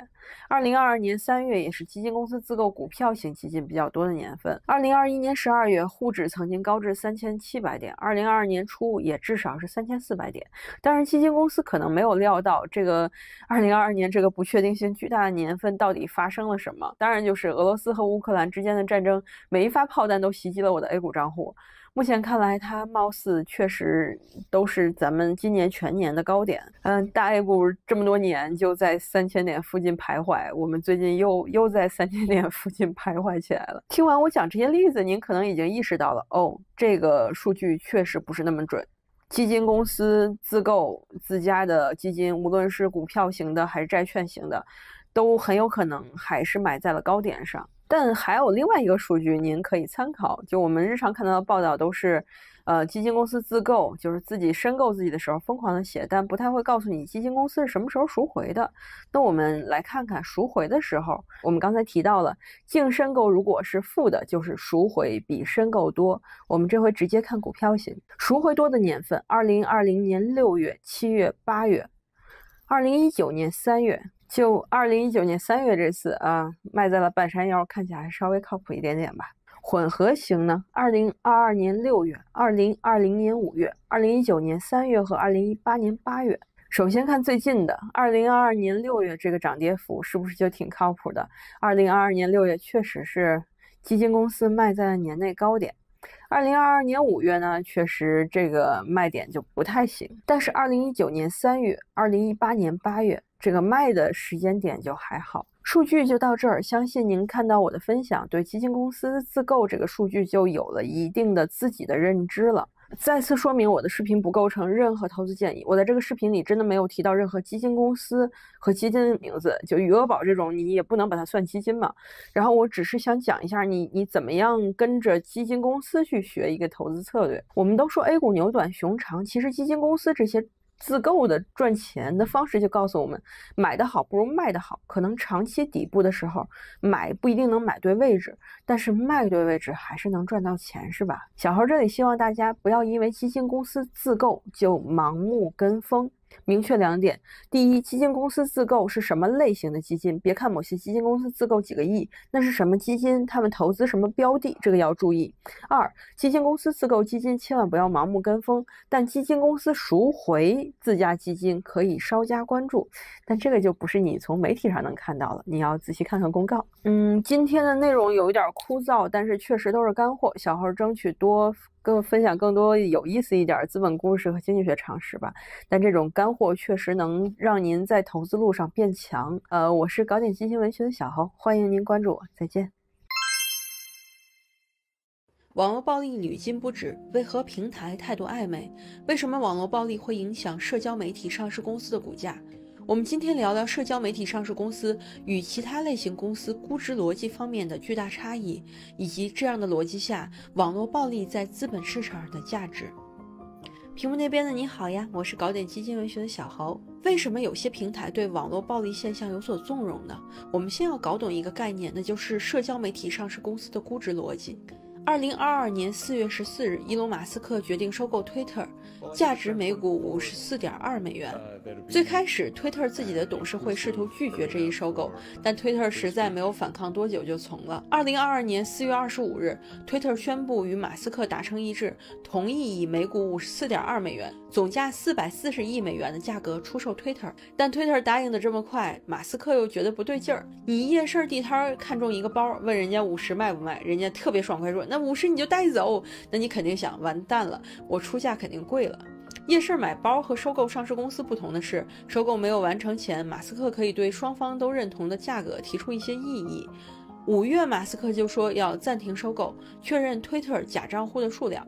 而当地时间七月八日，马斯克发布公开信说要终止收购 Twitter，因为他的数据造假，根本不值这么多钱。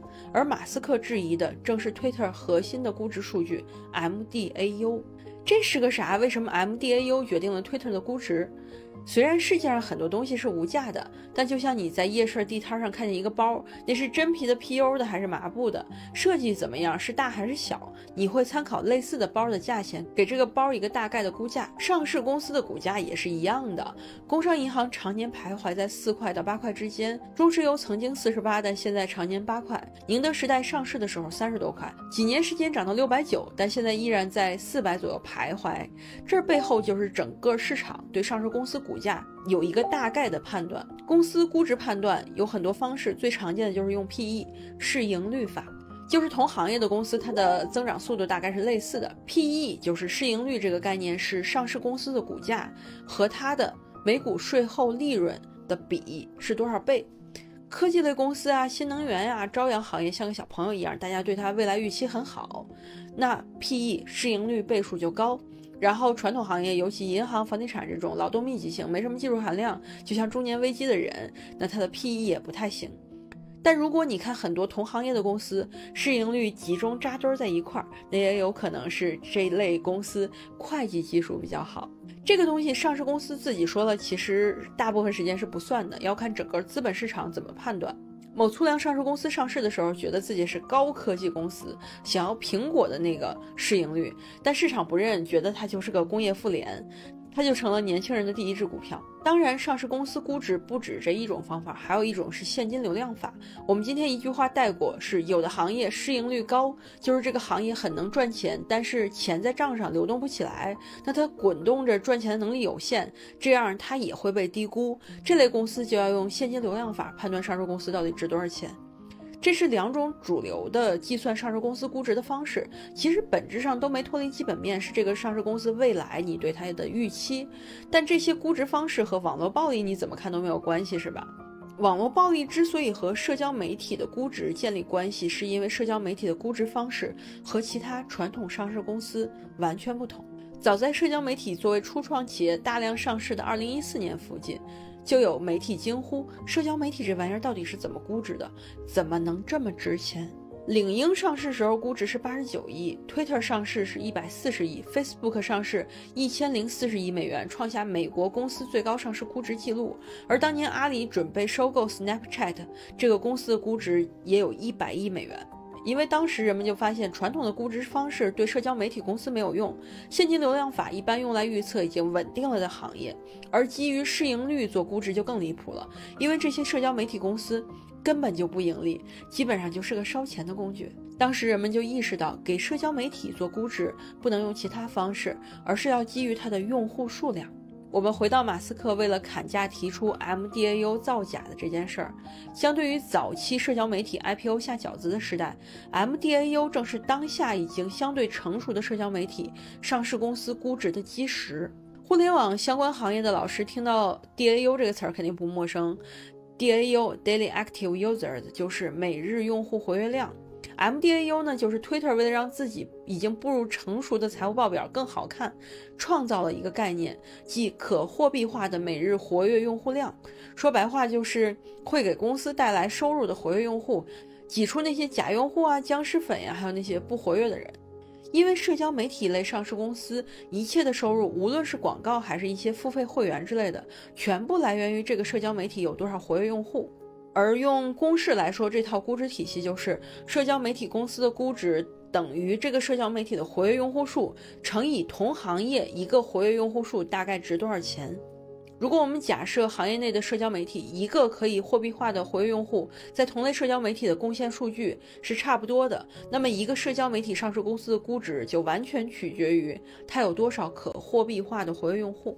而马斯克想砍价，从推特的 MDAU 上找文章，等式这边一个用户值多少钱是个常数，那你 MDAU 有问题，整个估值肯定就变了。马斯克在七月讨价还价，其实主要就是这中间的四月到七月中间这三个月，科技股经历了一轮大跌，推特比收购价还低了不少。但是最后如你所见，推特承认了这三年造假两万的用户数，但是后来推特股价涨回去了，马斯克还是原价收购。但在这个故事中，您可以看到，MDAU 是目前市场上所有社交媒体上市公司估值非常重要的一环。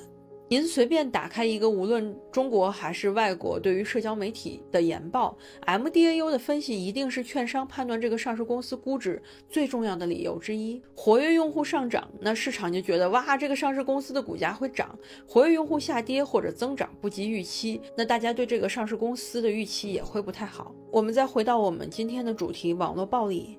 您想一想，网络暴力为社交媒体上市公司带来什么呢？活跃用户呀。您回忆一下，网络暴力一般是怎么发生的？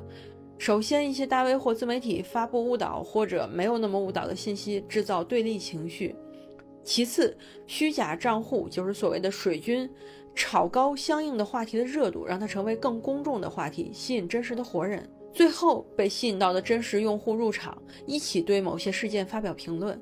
马斯克入主推特的时候就爆料说，虚假账号一直会追逐网络大 V，而相应的评论点赞提升相应话题热度，这也让这些虚假账号可以更好的装作自己其实是个正常用户。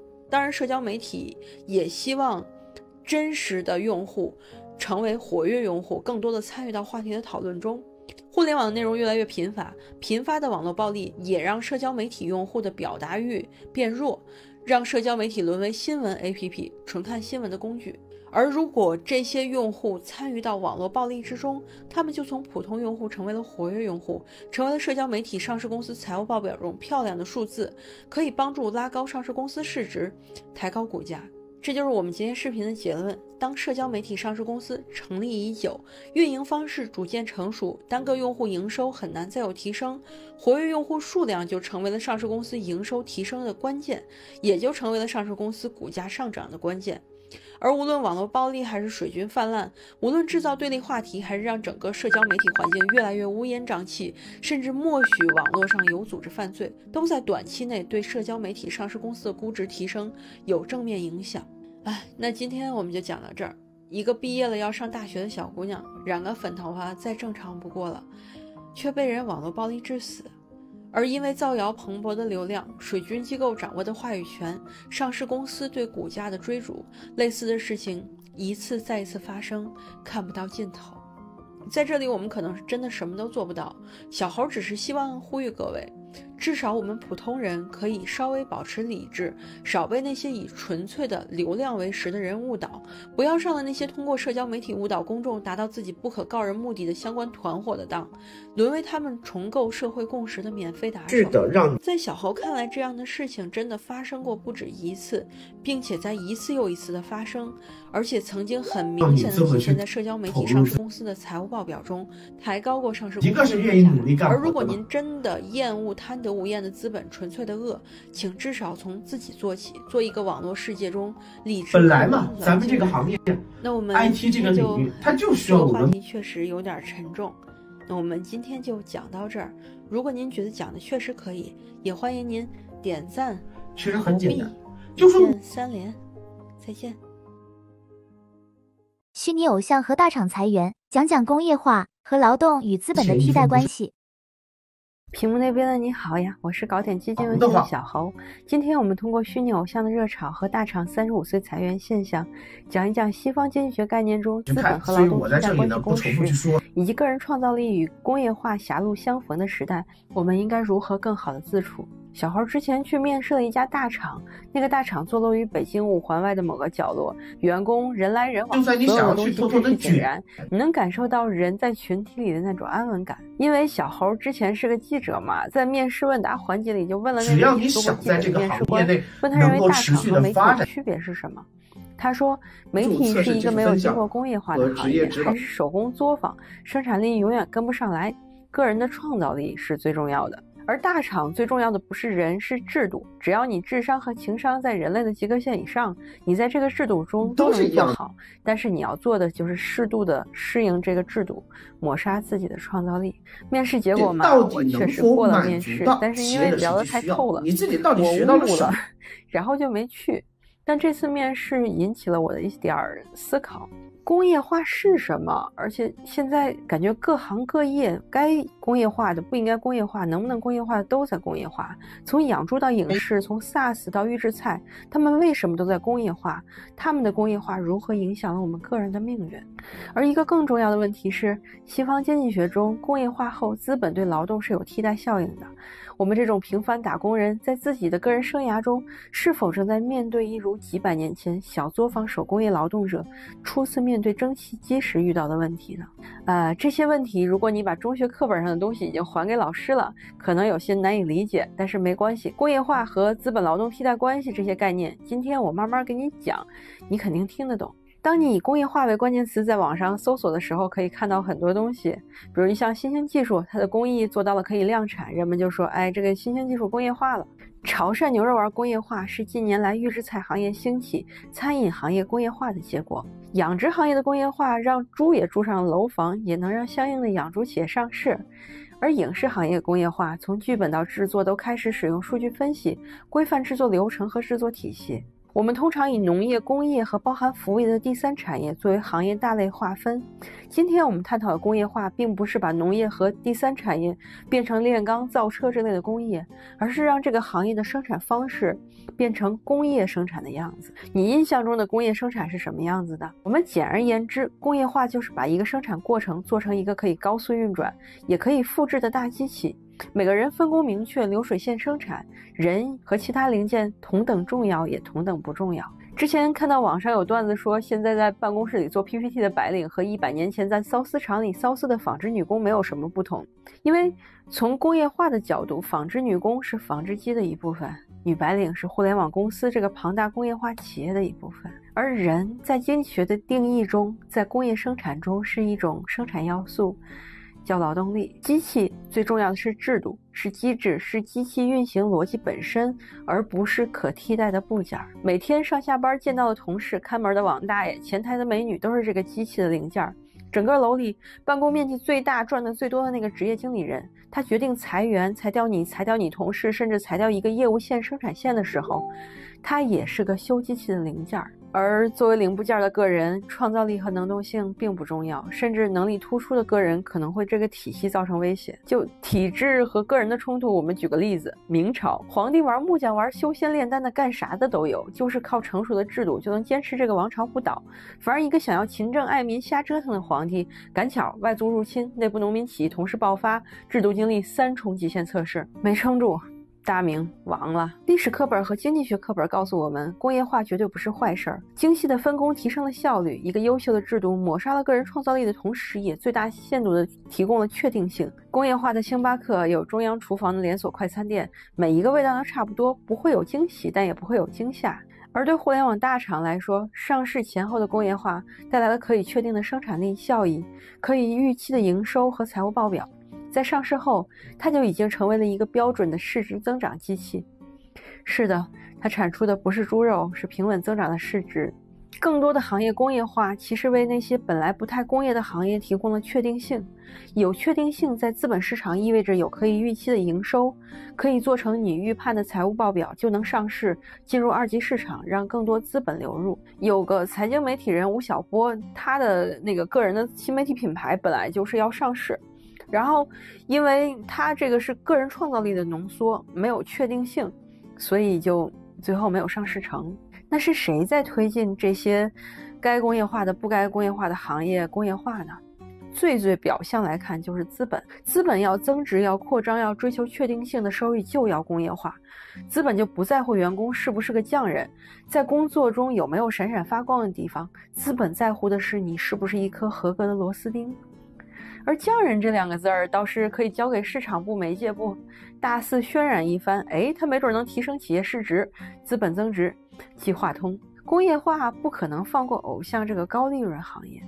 但偶像它是诞生于人和人之间的相互吸引，即便是虚拟偶像，也是他的人格魅力在吸引你。为了将偶像行业工业化，让偶像成为有确定性、无风险的机器，用一个皮将背后的中之人的人格魅力切割保留，而创造这部分价值背后那个真实的人，成了机器上可以随时换掉的零件儿。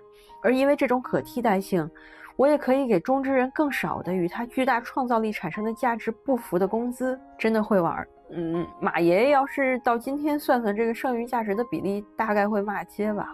嗯，您可能想说，哎，我这种人不会喜欢虚拟偶像的。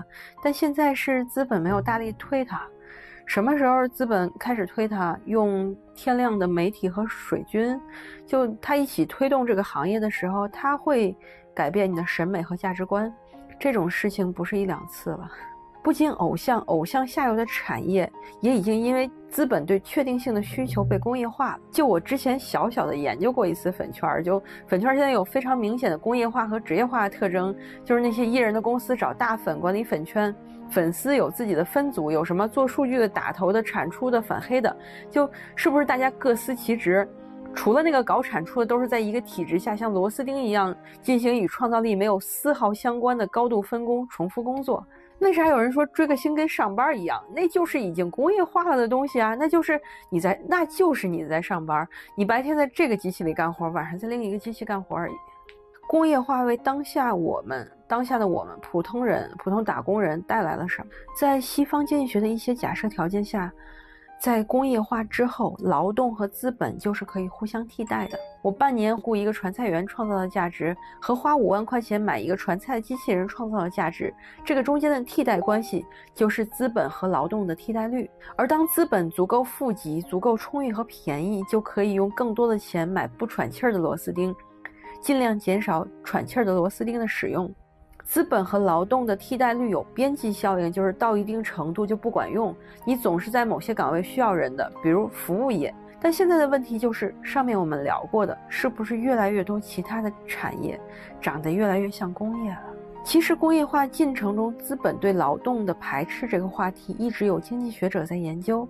我找到了一篇1990年的论文，对我国50年代开始的工业化进程中资本对劳动的排斥进行了研究。当时的学者就在讨论，过早走上资本排斥劳动的道路是不是不太好？相关资本和劳动的关系，小侯研究也不太深，大家可以去找温铁军老师的研究内容。我看 B 站就有很多。嗯，在温铁军老师的理论中，我国历史上很多你不太好找工作的年份，或者是给你的那个工作不是你想做的工作那个年份，和工业化其实是有千丝万缕的联系的。工业化绝对不是不好的，工业化促进了我国经济的发展，世界地位的提高，也提高了我们的生活水平，这个是不争的事实。欧美一些国家的去工业化、金融化、纸片化，那个才是让人警觉的。但就像。我之前说的那些历史上的年份，面对工业化的个人感受，确实不反映在经济数据里。当个人与工业化的世界狭路相逢，面对降薪失业，应该做什么呢？我们不是当初初次面对蒸汽机只会打砸机器的工人，但因为我学的经济学比较浅，没有看到个人面对资本的异化应该怎么做。但是。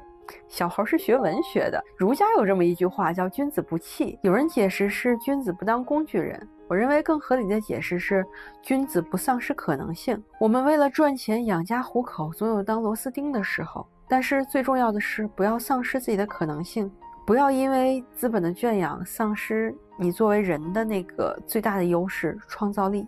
嗯，就像历史沧桑巨变，与一次次冰河期有脱不开的联系。时代的一粒沙落在我们身上，成为一座山的那一刻，我们可能痛苦的无法脱节，但至少多少掌握经济学相关知识，可以知道那座山到底从何处来。那感谢屏幕那边的你看到这里，啊，欢迎关注我，再见。因为做的人做过邮币卡交易所。我不相信虚拟货币。屏幕那边的你好，嗯，我是搞点基金文学的小侯，今天想讲一讲基金的题外话，就是，呃，看到好多朋友在做虚拟货币的投资，但是为什么我不太相信虚拟货币？嗯，首先声明，这期并不是科普，就是比较纯的主观感受。嗯，如果你受益于虚拟货币，或者你你相信它，你信就是了。我们并不用互相说服，说服。说服就这样，嗯，再先进的技术呢，终归也是人在做。我不相信虚拟货币能创造财富的主要原因，就是我其实不太相信做的那些人。嗯，很多炒币的人会遇到系统问题，莫名其妙的爆仓平仓，就该买的时候买不了，该卖的时候卖不掉，莫名其妙。然后这这些交易所本身还没有什么不会被惩罚吗？但其实。嗯，有一类骗局并不新鲜，只是它一次又一次的换了一个新名字为祸人间。这个名字就叫就叫坐庄。嗯，每个书写财富故事的大佬身上都有他们做基础工作时候的烙印，比如有些做销售出身的重视回款，有些做媒介出身的重视宣传。我今天想给你们讲述一个做交易所的大佬的经历，然后。也是这样的经历让我本身就不太信这个虚拟货币。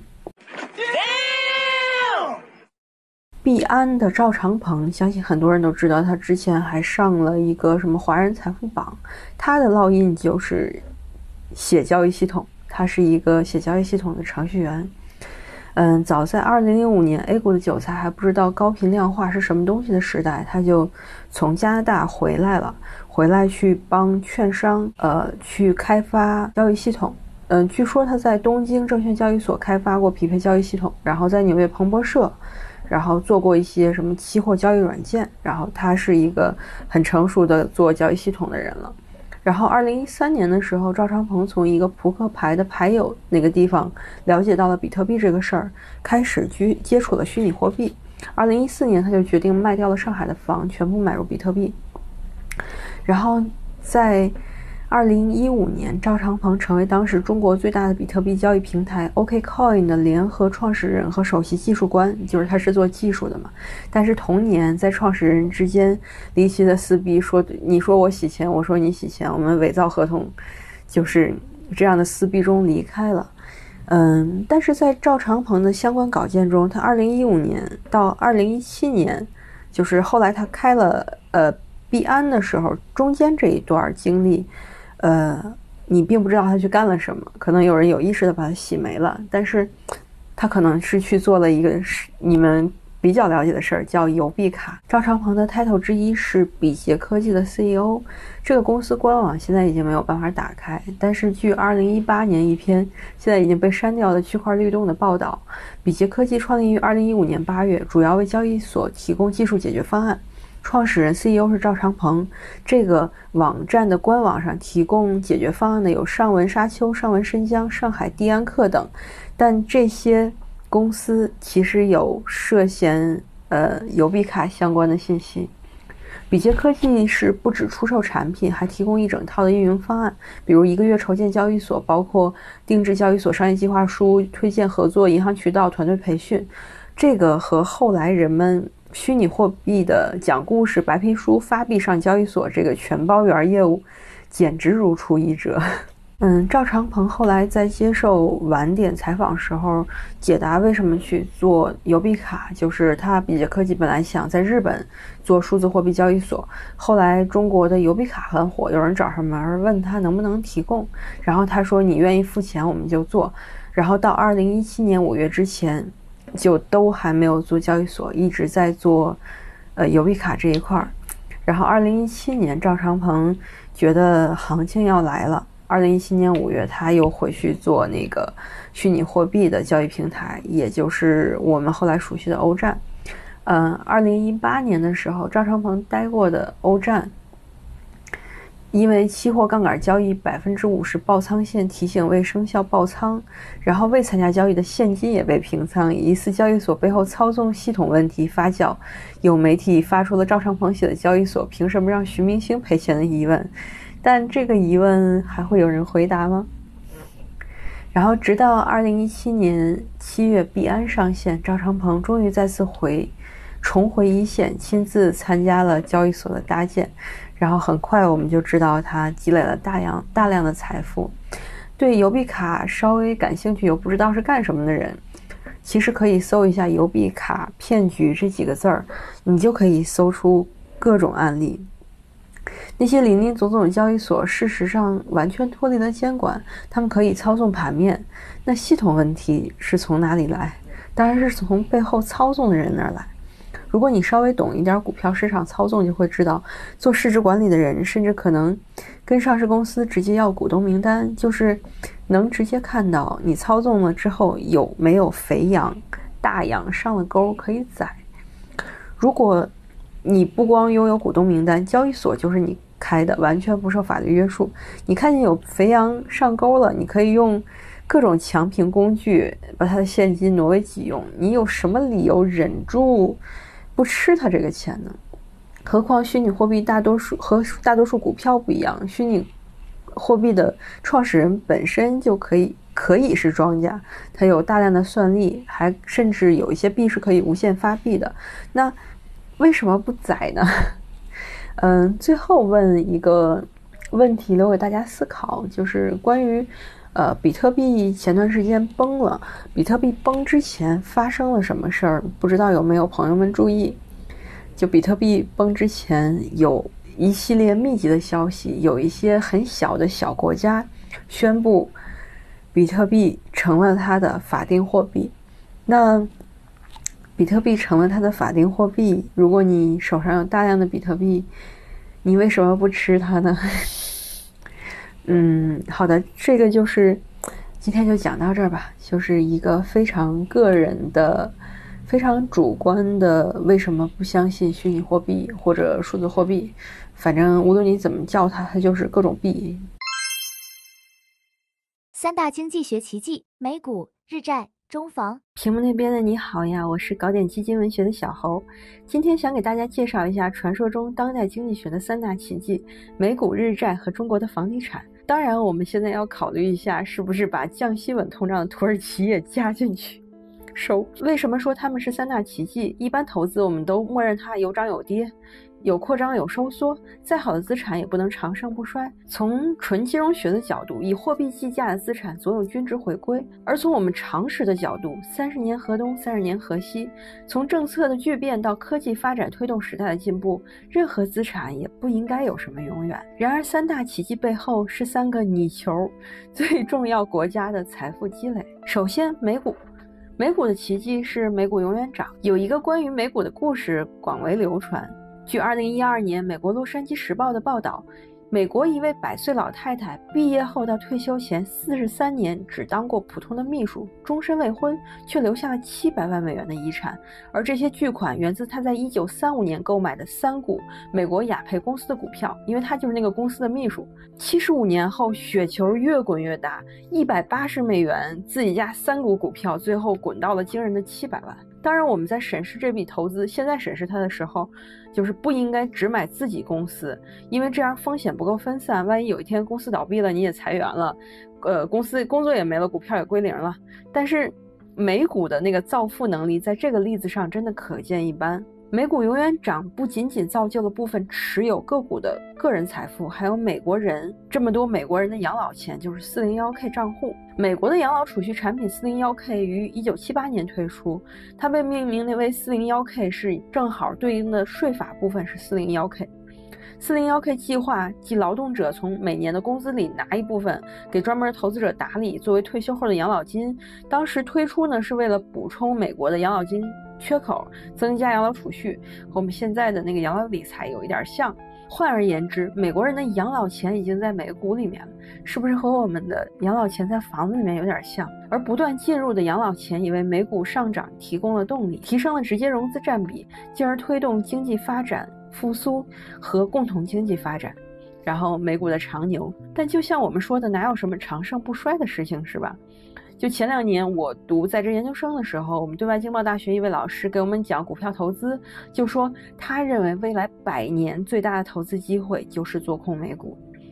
包括最近就我录这个视频这一天是二零二二年的九月十六日，苹果这种支撑美股抖一抖能抖掉一个小米的大科技股，竟然现在已经是头号被做空的对象了。那你猜美股这个奇迹泡沫什么时候会破掉呢？说完美股，我们继续说日债。日债的奇迹不是涨，反而是不涨，是大和欠钱不用还。日本债券市场规模之前长期居于世界第二、亚洲第一，后来就被中国比下去了，成了世界第三、亚洲第二。它最重要的是国债占自己 GDP 比重能到百分之两百多，就你相当于你这个公司就值一百万，然后你还欠了两百五十万的债，有天理吗？然而，更没天理的是，国家和公司肯定不一样。债欠的大不说，还不用还利息，因为它国家它把国债降得越来越低，它都已经降成负的了，那它就不用付利息了。就是那个国债的利率是负的，那你国家欠这份债就不用付利息了。而且日本债市国债占比一直还特别高，就基本上只有国债。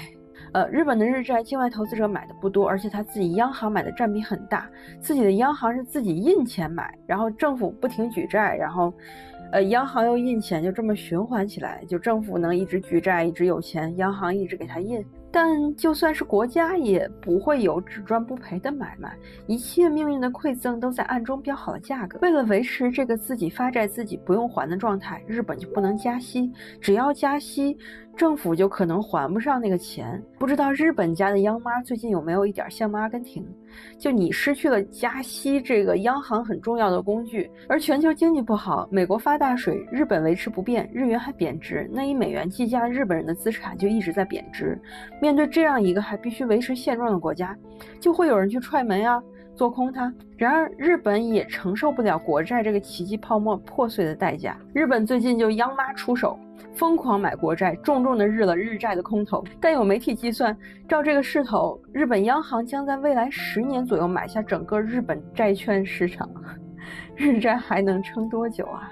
然后在最后浅浅的说一下中国奇迹。是的，它有一个名字叫中国奇迹。这个我不敢瞎说，就引述一篇2008年的文章。据一篇2008年12月发布于瞭望新闻周刊的文章，两千年前后，国外经济学家热议认为我们 GDP 增长有一段时间造假了，因为能源消耗没有对应的增长，但是我们 GDP 一下就窜上去了。而事实上，那个就是亚洲金融危机期间那个反常的高速，确实引人注目。那个是一九九八年住房制度改革，为我们国家和我们的国民带了一笔意外之财。就是这篇文章认为，总结当年的经验，四万亿以防止宏观经济下滑为目的的投资流入大力建设保障性住宅是正确的。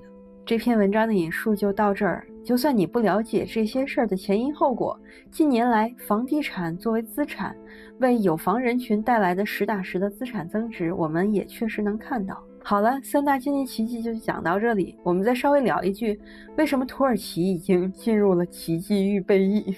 俗话说得好，国中哈士奇，狗中土耳其。就一般通货膨胀是因为钱太多了，市面上钱太多，货物少了，钱就会贬值。这个时候，作为一个合格的央妈，就是要把市面上钱收一收。你提高了利率，钱往银行里跑，市面上的钱就少了。这个是一般国家的操作，这样。就是你可以维持一定程度的通胀，但是你也要保障不要通胀太过分，你要保证一下普通人的那个资产和他的劳动所得。然而土耳其这个咱反正对埃尔多安也不太懂，就是有人开玩笑说我们赌一把，土耳其和西方经济学 必须死一个。就是，呃，埃尔多安想的是我这个货币贬值，然后我就增加出口，我经济变好了，我这些通胀问题就都解决了。那我们也静静的看着。土耳其的这个连续聚会变成什么样吧？嗯，当然视频篇幅有限，我今天也只是给您讲几个俏皮的故事。然后我讲这些应该并不构成任何投资建议。就一百年的做空美股机会这件事儿，这玩意儿你一两年可以，你拖到一百年肯定也不构成什么投资建议。但是我想，我想给大家讲的是什么呢？三大奇迹最近出现一些崩溃的迹象，让我们确实应该思考一下，那些我们认为永远涨不会跌的东西，真的会？一直继续下去吗？嗯，小侯这里希望大家不要对风平浪静过于习以为常，这会让我们失去对抗风暴的能力和勇气。我是搞点基金文学的小侯，谢谢你看到这里，欢迎关注我，我将继续讲一些经济学的常识。然后，其实我讲基金才是最专业的，因为我是一个很专业的基金记者，但是 B 站它没有基金记者这个认证通道，所以就。哎，就这样吧，我也不太想去挂靠券商营业部，所以就就这样吧。先，我们一起了解一下经济学常识，然后我也怕我给你们推荐的基金你们亏了可怎么办？嗯，就这样也挺好。嗯，欢迎关注，拜拜。韩国炒房客末日将至，韩版次贷危机全租房是什么？雷在哪儿？美联储疯狂加息之下，被称为全球经济金丝雀的韩国受到了怎样的影响？屏幕前的你好呀，我是搞点基金文学的小侯。最近韩国的一种独特的租房制度——全租房，开始散发出一些暴雷的味道，或许将拖累整个韩国房地产市场和金融行业。小侯今天带您在很有可能马上要暴雷的韩国全租房身上。一起看看美国疯狂印钱，在疯狂加息，对全球资产到底产生了怎么样的影响？到底这一轮是什么样的雷在路上？在这里还是先防杠免责一下，本期视频观点比较明确，有可能影响到一些人的利益，但视频内容全部来自媒体公开报道。最重要的是，冤有头债有主，要怪您去怪美联储。首先，我们看看全租房是啥。韩国有两种租房制度，一种就是我们中国常见的，交一个月还要有几个月的押金，然后付房租，什么押一付三呀之类的。另一种就非常有意思了，完全不用付房租，但是要交一笔特别高的押金，大概要占房子售价的百分之六十到八十。交完押金就可以按约定免费住一段时间，一般是两年。这种租房制度叫全租房或者全税房，或者叫传世房。John C 这种制度其实相当于租客借钱给房东，房东让租客住自己的房子作为回报，房租就是这笔高额押金的利息。全租房制度在韩国一直很受欢迎，房东本人拿到一笔金额巨大的押金，可以存进银行吃利息，也可以用来自己投资，就像网上那些存了一百万然后回老家躺平的神仙老师们一样，靠钱生钱总是有路的。全租房在韩国可是有两百多年的历史了。根据一篇韩国中央日报的报道，一八七六年日韩条约签订后，日本开始把朝鲜半岛作为自己的殖民地，并且迫使他们开放釜山、仁川和元山三个港口。这个时候，人们从乡镇涌入城市，但是买不起房，就在城市的房东的房子里租一个小房间。而城市的房东大多数是小商人，做生意需要流转资金，他们又没有什么合适的融资方式，就直接用房客的押金当自己的融资。这类租房方式其实一般发生在金融体系不太发达、小商人融资难的国家，比如现在还有的是印度和玻利维亚。韩国是目前经合组织中唯一一个还有这样制度的国家。但这两百多年来，在韩国全租房相关的对租户和房东的保护立法不断完善，还设立了房东卷款跑路相关的保险。文在寅对全租房续签时候押金的增量设置了百分之五的上限。尹新月还对租的便宜的房东给予了一些免税政策，这些都助推了全租房的发展。而近年来，房东拿到全租房的押金可并不是用来做小生意啦。一个房子总价的百分之六十到百分之八十的押金拿到手里，如果是你，你会干什么呢？这一轮利率提升前，全球基本上都是宽松的疯狂印钱。国家印钱的时候，对于老百姓来说，买房就很划算，因为印钞机开足马力的时候，拿现金会贬值嘛，钱贬值了，那房子肯定会涨。对于房东来说，最好的选择就是再买一套房，而对于炒房客来说，玩法可就花多了。想想有这么一位勇士，手里有两亿韩元，付了百分之二十的首付，买了十亿韩元的房子，然后以全租房的制度租出去，可以从租客那儿拿到八亿韩元的押金，因为押金是房子总价的百分之六十到八十嘛。拿到了这八亿韩元，他可以怎么做呢？他可以用八亿韩元的押金当四套房子的首付，再买四套十亿韩元的房子，然后就能收到三十二亿的全租房押金，这雪球可就可以指数级的滚起来了。当然，这只是一个假设，不知道有没有人真的这么极限的玩儿。但有媒体爆出，有炒房客靠着这种方式在首尔买了二百八十套房子，最终由于杠杆加太多，资金链断裂，引爆了一颗巨雷，房东直接消失，导致数百名租客毕生的积蓄顷刻之间化为乌有。如果押金真的被房东用来炒房了，那很多房东就是有资金买房，却没有足够的资金在找到下一个租客之前还押金。而炒房客在做房东的时候，要维持这个不停滚的这个状态下去，就要收更多押金堵上之前的窟窿，因为你还要交利息维持现金流。那么新房客的押金就一定要比老房客多。这个游戏持续下去，需要房价不断上涨。而在这一轮利率提升之前，韩国的房价确实在不停的涨。印钞机马力全开，利率低的情况下，贷款的利息很低，市面上的钱也多。这个时候，首先炒房客贷款相对便宜，每个月还的利息也相对便宜。而租客也比起买房更想租全租房。近年来，韩国房价高企，导致有勇气结婚的年轻人掏空六个钱包已经不够了。就算是租全租房，也需要在六个钱包基础上再贷款，不是贷款买房，而是贷款租全租房。韩国有专门的全租房贷款，还有专门针对全租房的贷款优惠制度。当时低利率环境下，全租房贷款利息比房子的月租低，这样很多年轻人会边租全租房边存钱，甚至会把贷款租全租房作为一种储蓄的方式。一位明治大学教授接受韩国中央日报采访时候就说，全租房租户倾向于将押金视为一种储蓄方式，因为和月租金不同，押金不会消失。低利率时代，全租房市场就是这么个状况。那这样，整个金融系统就为炒房者创造了一个非常好的、不停助推房价上涨的环境。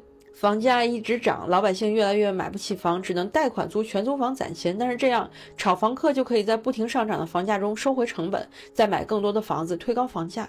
但这样的宽松能维持多久呢？韩国这样依赖进出口的国家，又有多大能力走出自己的独立性行情呢？美联储从二零二二年开始疯狂提高利率，一百、一百、一百个基点这么加息，就带动着全球要跟它一起提高利率。因为如果不加的话，钱在你这儿不值钱，在别的国家值钱，钱就会流到别的国家。韩国这两年也在被迫跟着美联储提高利息，那票子不毛了，钱值钱了，最先表现出来的是房价自然也会下跌。据华尔街见闻报道，数据显示，韩国二月份房价较上一年的高位下跌了百分之四点四。我们刚才说，韩国利用全租房的炒房客需要房价不停上涨来维持炒房，而加息周期下房价跌了，炒房客就危险了。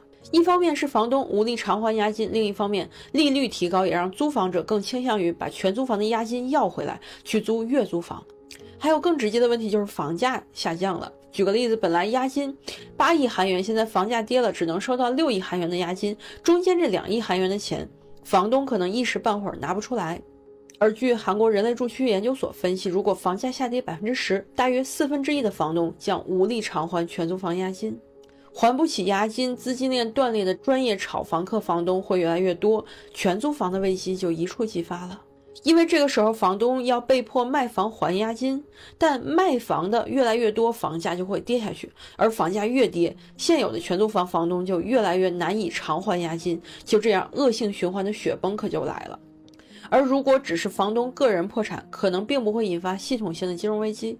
但事实就是，房东买房贷款来自银行，租客租房押金的贷款也来自银行。在韩国，如果房东破产，房屋将被拍卖，租户却不一定能收到全部押金，具体要取决于债权接收者的预定顺序。如果发生这样的情况，房东的资金链断裂，还不起银行的房贷，租客也很难拿回押金，押金也是从银行贷款的。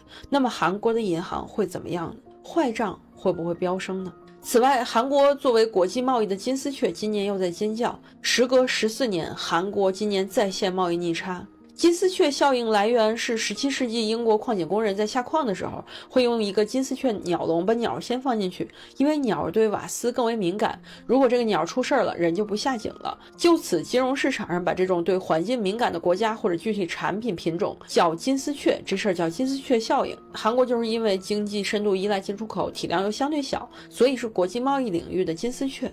最近韩国在线贸易逆差这个数据表明，全球需求疲软的同时，也是在告诉大家，韩国的经济估计接下来不会太好受，衰退不可避免。那国民收入受到影响之后，韩国的全租房能撑多久呢？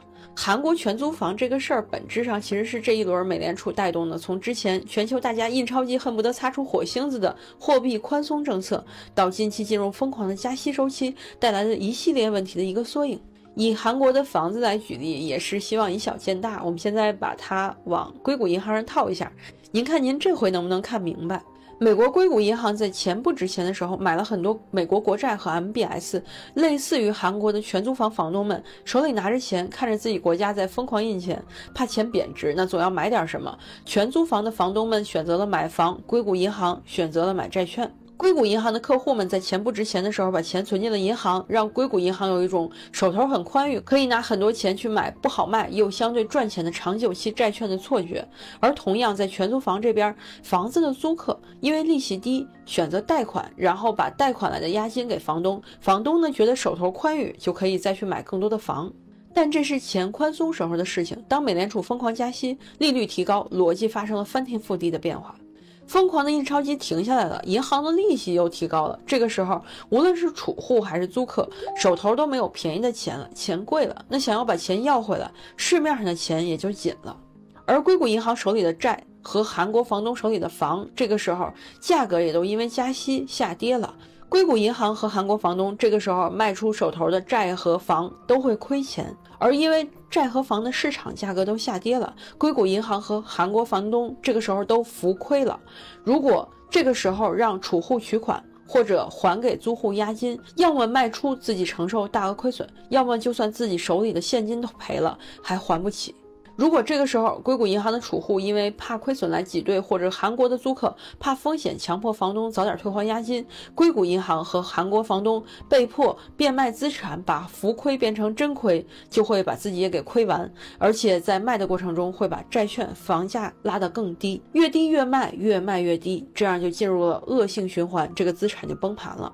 类似这样的资产真的还会有很多，也就是在这个逻辑下，美联储宽松在加息，对全球经济产生了巨大影响，并且很可能将全球经济和美国一起拖入衰退深渊。这里小猴也斗胆下个判断，类似的雷存在于各个国家，也存在于各个资产中，还有很多还在路上。韩国这只金丝雀的数据只是个警示，因为体量小，受影响又大，往往衰退的时候它走在前头。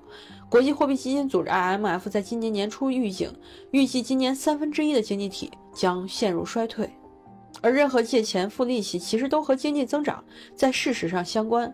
呃，补充一句，以防有人不知道，衰退就是经济不增长的倒退的意思。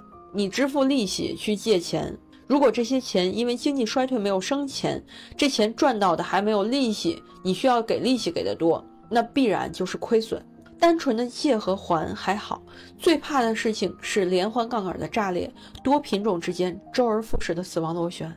但很明显，这一轮与次贷危机不同的是，各国央行反应迅速，哪里出问题迅速就堵哪里，哪怕像瑞士央行这样堵上了，自己国家的声誉都在所不惜。但央行自己又能挺多久呢？呃，那今天就讲到这儿。如果您觉得小猴讲的确实可以，欢迎点赞、投币、一键三连。也会有很多人问这件事对我们国家影响。个人有一点非常浅薄的判断是，我们国家应该还好，因为我们和人家根本不在一个周期里，出口多少会受影响，但是我们自己的市场体量还是算够大的。再退一万步讲，我们国家的粮食是够吃的。那希望大家的资产在接下来的风暴中平平安安的吧。再见。人民币结算石油暂未有所突破，但这家被制裁的中国城商行身上，你可以看到美元霸权的日暮。屏幕那边你好呀，我是搞点基金文学的小侯。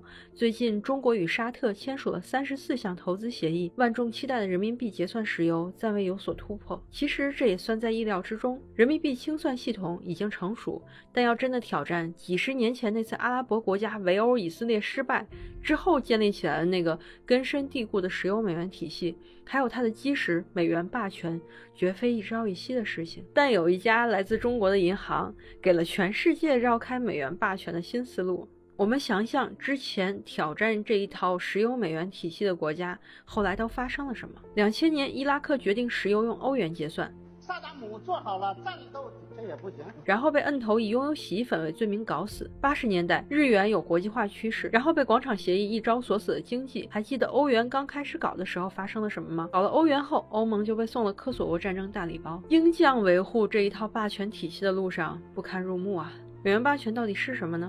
想象，如果你有这么一个宝贝，不仅可以帮你逢凶化吉，把自己家的危机转移到别人家去，还能把别人家兜里的钱掏到你兜里来，甚至呀你看谁不顺眼，它还是个武器，不仅能赚钱养家，还能让别人脑袋开花。八十年代的拉美债务危机，九七年的亚洲金融危机，到二零零八年的国际金融危机，在一次次美国疯狂印钱让通胀流向世界，在加息把别国的资产收入自己囊中的过程中，美国每次遇到困难都可以靠收割全世界的财富活下去，并把自己。你的危机成功转嫁给别人，但美元毕竟是大家都公认的用来结算的货币，你用美元可能最后搞得这国家很难受，但不让你用美元可能更难受。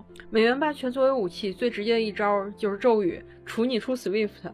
就是把要制裁国家的银行，或者他不敢制裁国家里不听话的银行，踢出这地球上银行间最主流的国际清算系统。大家要知道，国际间的贸易一般都需要两个国家的银行进行跨国结算。就像你网购用支付宝，货到了手里你再给钱会更安全一点，钱先在那儿存着。